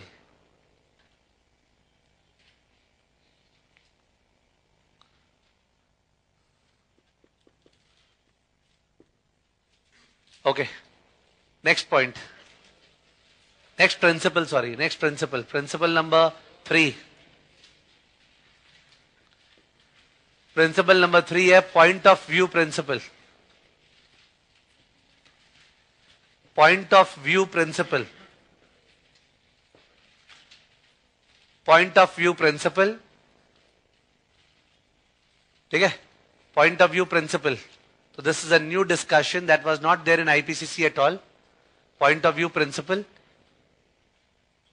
Cash flows को तीन पॉइंट ऑफ़ व्यू से निकाल सकते हैं equity point of view long term point of view total funds point of view equity long term और total पे अटेंशन सपोज़ एक project में फिक्स्ड एसेट 800 लाख है। करंट एसेट 200 लाख है। Fixed asset 800 current asset 200 total thousand है। Funding कैसे आ रहा है देखना।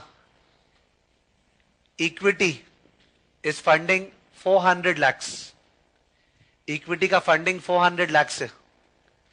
There is a 15% long term debt 15 percent long term debt जो है, वो सपोज़ 500 लाख है।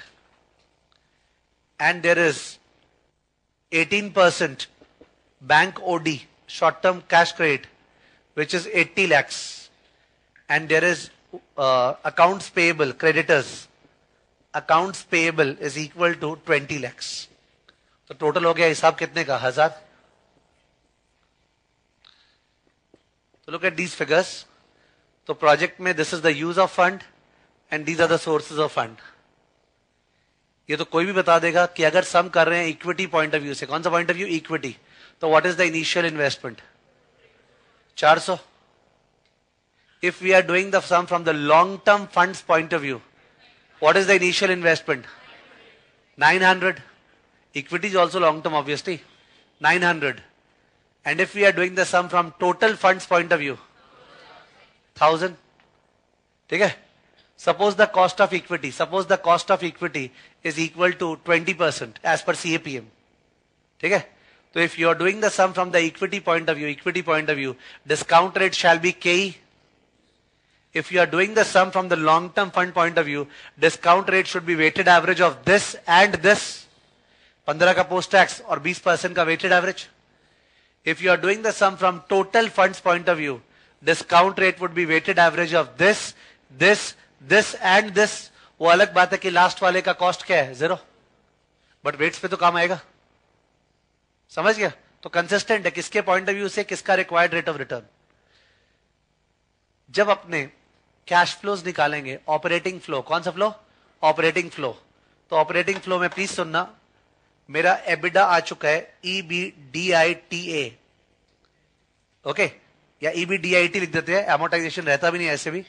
Suppose E B D I T लिख रहे हैं तो E B D I T जो है ना E B D I T वो अपना फ़र्स्ट ईयर में शेयर कर रहा हूँ तुम्हारे साथ।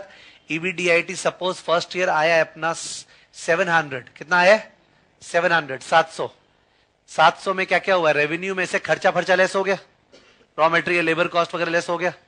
दिस इज़ ईबीडीआईटी तो ईबीडीआईटी में आपने को तीन चीज़ सोचना है। एक तो डी और एक आई और एक टी ये सोच रहा है तीन चीज़। डी आई और टी डी के बारे में तुम लोग को पता है। डेप्रेशन क्या करना है? या तो लेस कर दो और उसके बाद एड और या फिर लेस मत करो और क्या? टैक्स शील्ड एड तो मैं उस पर भी फोकस कर रहा नहीं हूँ। I am not focusing on D let's focus on I that's the main thing I दो दो जन का इंटरेस्ट है। एक तो बैंक ओडी का इंटरेस्ट और एक किसका है? लॉन्ग टर्म डेट का है। अगर इक्विटी पॉइंट ऑफ़ व्यू से कर रहे हैं तो पता लगाना चाह रहे हैं फ़र्स्ट ईयर इक्विटी के पास क्या आएगा? तो इक्विटी अगर अंदर वाला है तो सब जन बाहर वाला है। एफ़ सी एफ़ ई हो रहा है सपोज़ सब बाहर वाला है तो सबको पेमेंट करना पड़ेगा ही तो। तभी तो इक्विटी के पास आएगा। तो एकदम natural interest on debt less होगा। इंटरेस्ट ऑन बैंक ओडी क्या होगा? लेस एकदम नेचुरल जो होना चाहिए। ठीक है? यानी तुम पैट निकालोगे। क्या निकालोगे? PAT minus depreciation minus all interest minus all tax you will calculate actual PAT ठीक है ना? और पैट में डेप्रेशन क्या कर देगा? Add is it okay EBDIT minus depreciation minus long term interest minus short term interest into one minus T PAT आ गया और प्लस डेप्रिसिएशन ठीक है? But if you are doing from long term fund point of view तो इन दोनों के लिए निकाल रहा है इनकम सोचो F C F F type है। इन दोनों के लिए इनकम निकाल रहा है, इन दोनों के लिए। तो खुद का खर्चा खर्चा थोड़ी होता है। तो किसका इंटरेस्ट लेस नहीं होगा? लॉन्ग टर्म का इंटरेस्ट लेस नहीं होगा। अगर तुम लॉन्ग टर्म का इंटरेस्ट लेस कर दिया, उसको तो बाहर वाला ट्रीट कर रहा है। तो long term point of view से किसका इंटरेस्ट लेस होगा? बैंक ओडी का। केवल 18 परसेंट इंटरेस्ट लेस होगा बैंक ओडी का। तो EBDIT minus depreciation minus short term interest the whole into one minus T plus depreciation whole into one minus T plus depreciation और अगर तुम कर रहे हो टोटल पॉइंट ऑफ़ व्यू से, कौन सा पॉइंट ऑफ़ व्यू टोटल सबके पॉइंट ऑफ़ व्यू तो कोई बाहर वाला नहीं है। किसको ब्याज देगा? किसी को नहीं। तो in that case EBDIT minus depreciation the whole into one minus T plus depreciation तभी तो वहाँ नोट्स में आज मैं अर्निंग्स लिखाना पड़ा हमको डेप्रिशिएशन का जो लिखा रहा था तो हम लिखाया अर्निंग्स माइनस डेप्रिशिएशन अर्निंग्स कौन सा? हम बता ही नहीं पा रहा था। I am talking about EBDIT और ईबीआईटी और PBT I was not able to say ना बिकॉज़ वो तो डिपेंड करता पॉइंट ऑफ़ व्यू पे कि इंटरेस्ट लेस करना है कि नहीं लेस करना है। तुम इतने बार जो सुन रहे उसको एक बार सोचो तो जिसके पॉइंट ऑफ़ व्यू से बना रहे हैं, उसका खर्चा इज़ नॉट अ खर्चा। दैट समराइजेज एवरीथिंग ना? मैं उसी चीज़ को चार बार बोल दूँगा, इस पे ये होगा, उस पे वो होगा बट थीम वाइज जिसके पॉइंट ऑफ़ व्यू से बना रहे हैं, उसका खर्चा खर्चा नहीं, उसको पेमेंट मत करना। उसको पेमेंट कर देता तो वो बाहर वाला ट्रीट हो गया और किसी और के लिए निकाल रहे समझ गया? तो long term point of view में लॉन्ग टर्म का इंटरेस्ट लेस नहीं होगा। टोटल पॉइंट ऑफ़ व्यू में कोई भी इंटरेस्ट लेस नहीं होगा। इक्विटी पॉइंट ऑफ़ व्यू में सबका इंटरेस्ट क्या होगा? लेस समझ गया? जब अपने टर्मिनल फ्लो निकालें, कौन सा flow terminal sorry before that और एक चीज़। अगर अपने को रॉ सम दिया रॉ रॉ सम मतलब रेवेन्यू रॉ मटेरियल कॉस्ट वगैरह कि, तुम कर सारा सम तब तो हम जो बताना था हो गया। बट अगर रॉ सम नहीं दिया है पैट दे दिया क्या दे दिया है? पैट पैट सात सौ बोले। सम में बोल रहा है profit after tax we have calculated 700 तो प्रॉफिट आफ्टर टैक्स बने क्या हुआ? आफ्टर डेप्रिशिएशन और बिफोर डेप्रिशिएशन आफ्टर वो लोग पैट दे रहे हैं तुमको। इज़ आफ्टर इंटरेस्ट और बिफोर इंटरेस्ट आफ्टर तो अगर वो लोग सम में चला के पैट दे दिया, क्या दे दिया? PAT and you are doing the sum and you are doing the sum from equity point of view क्या? इक्विटी पॉइंट ऑफ़ व्यू तो in that case cash flow will be PAT plus depreciation interest तो less होना ही चाहिए था, सब बाहर वाले हैं। अच्छा ये लेस हुआ है। But if you are doing the sum from long term point of view तो पैट में किसका इंटरेस्ट लेस नहीं होना चाहिए था? लॉन्ग टर्म का, गलत लेस हुआ है। तो क्या होगा? एड एड से भी गलत हो जाएगा। एड क्या होगा? Post tax please interest on long term debt को डेप्रिसिएशन मत बना दो।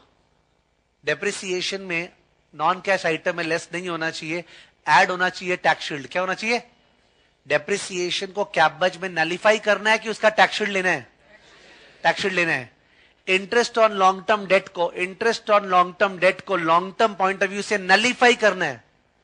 Interest on long term debt को long term point of view से क्या करना है?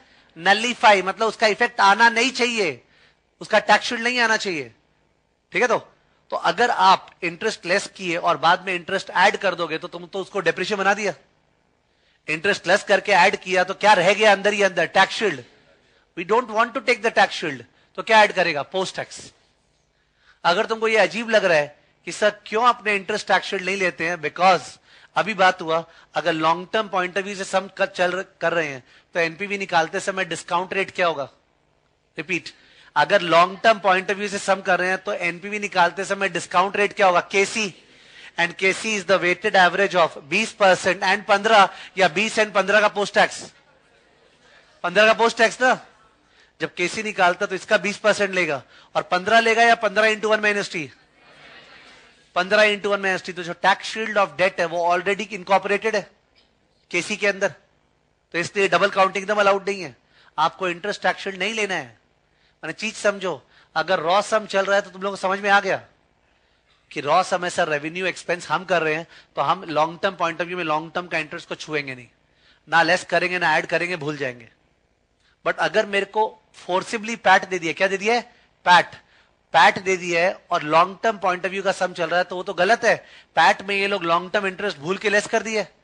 ऐड करेंगे तो भी रॉन्ग क्या ऐड करेंगे? पोस्ट टैक्स जिससे नलीफाई हो जाए नलीफाई ठीक है? पोस्ट टैक्स ऐड करना पड़ेगा, जिससे नलीफाई हो जाए। ठीक है?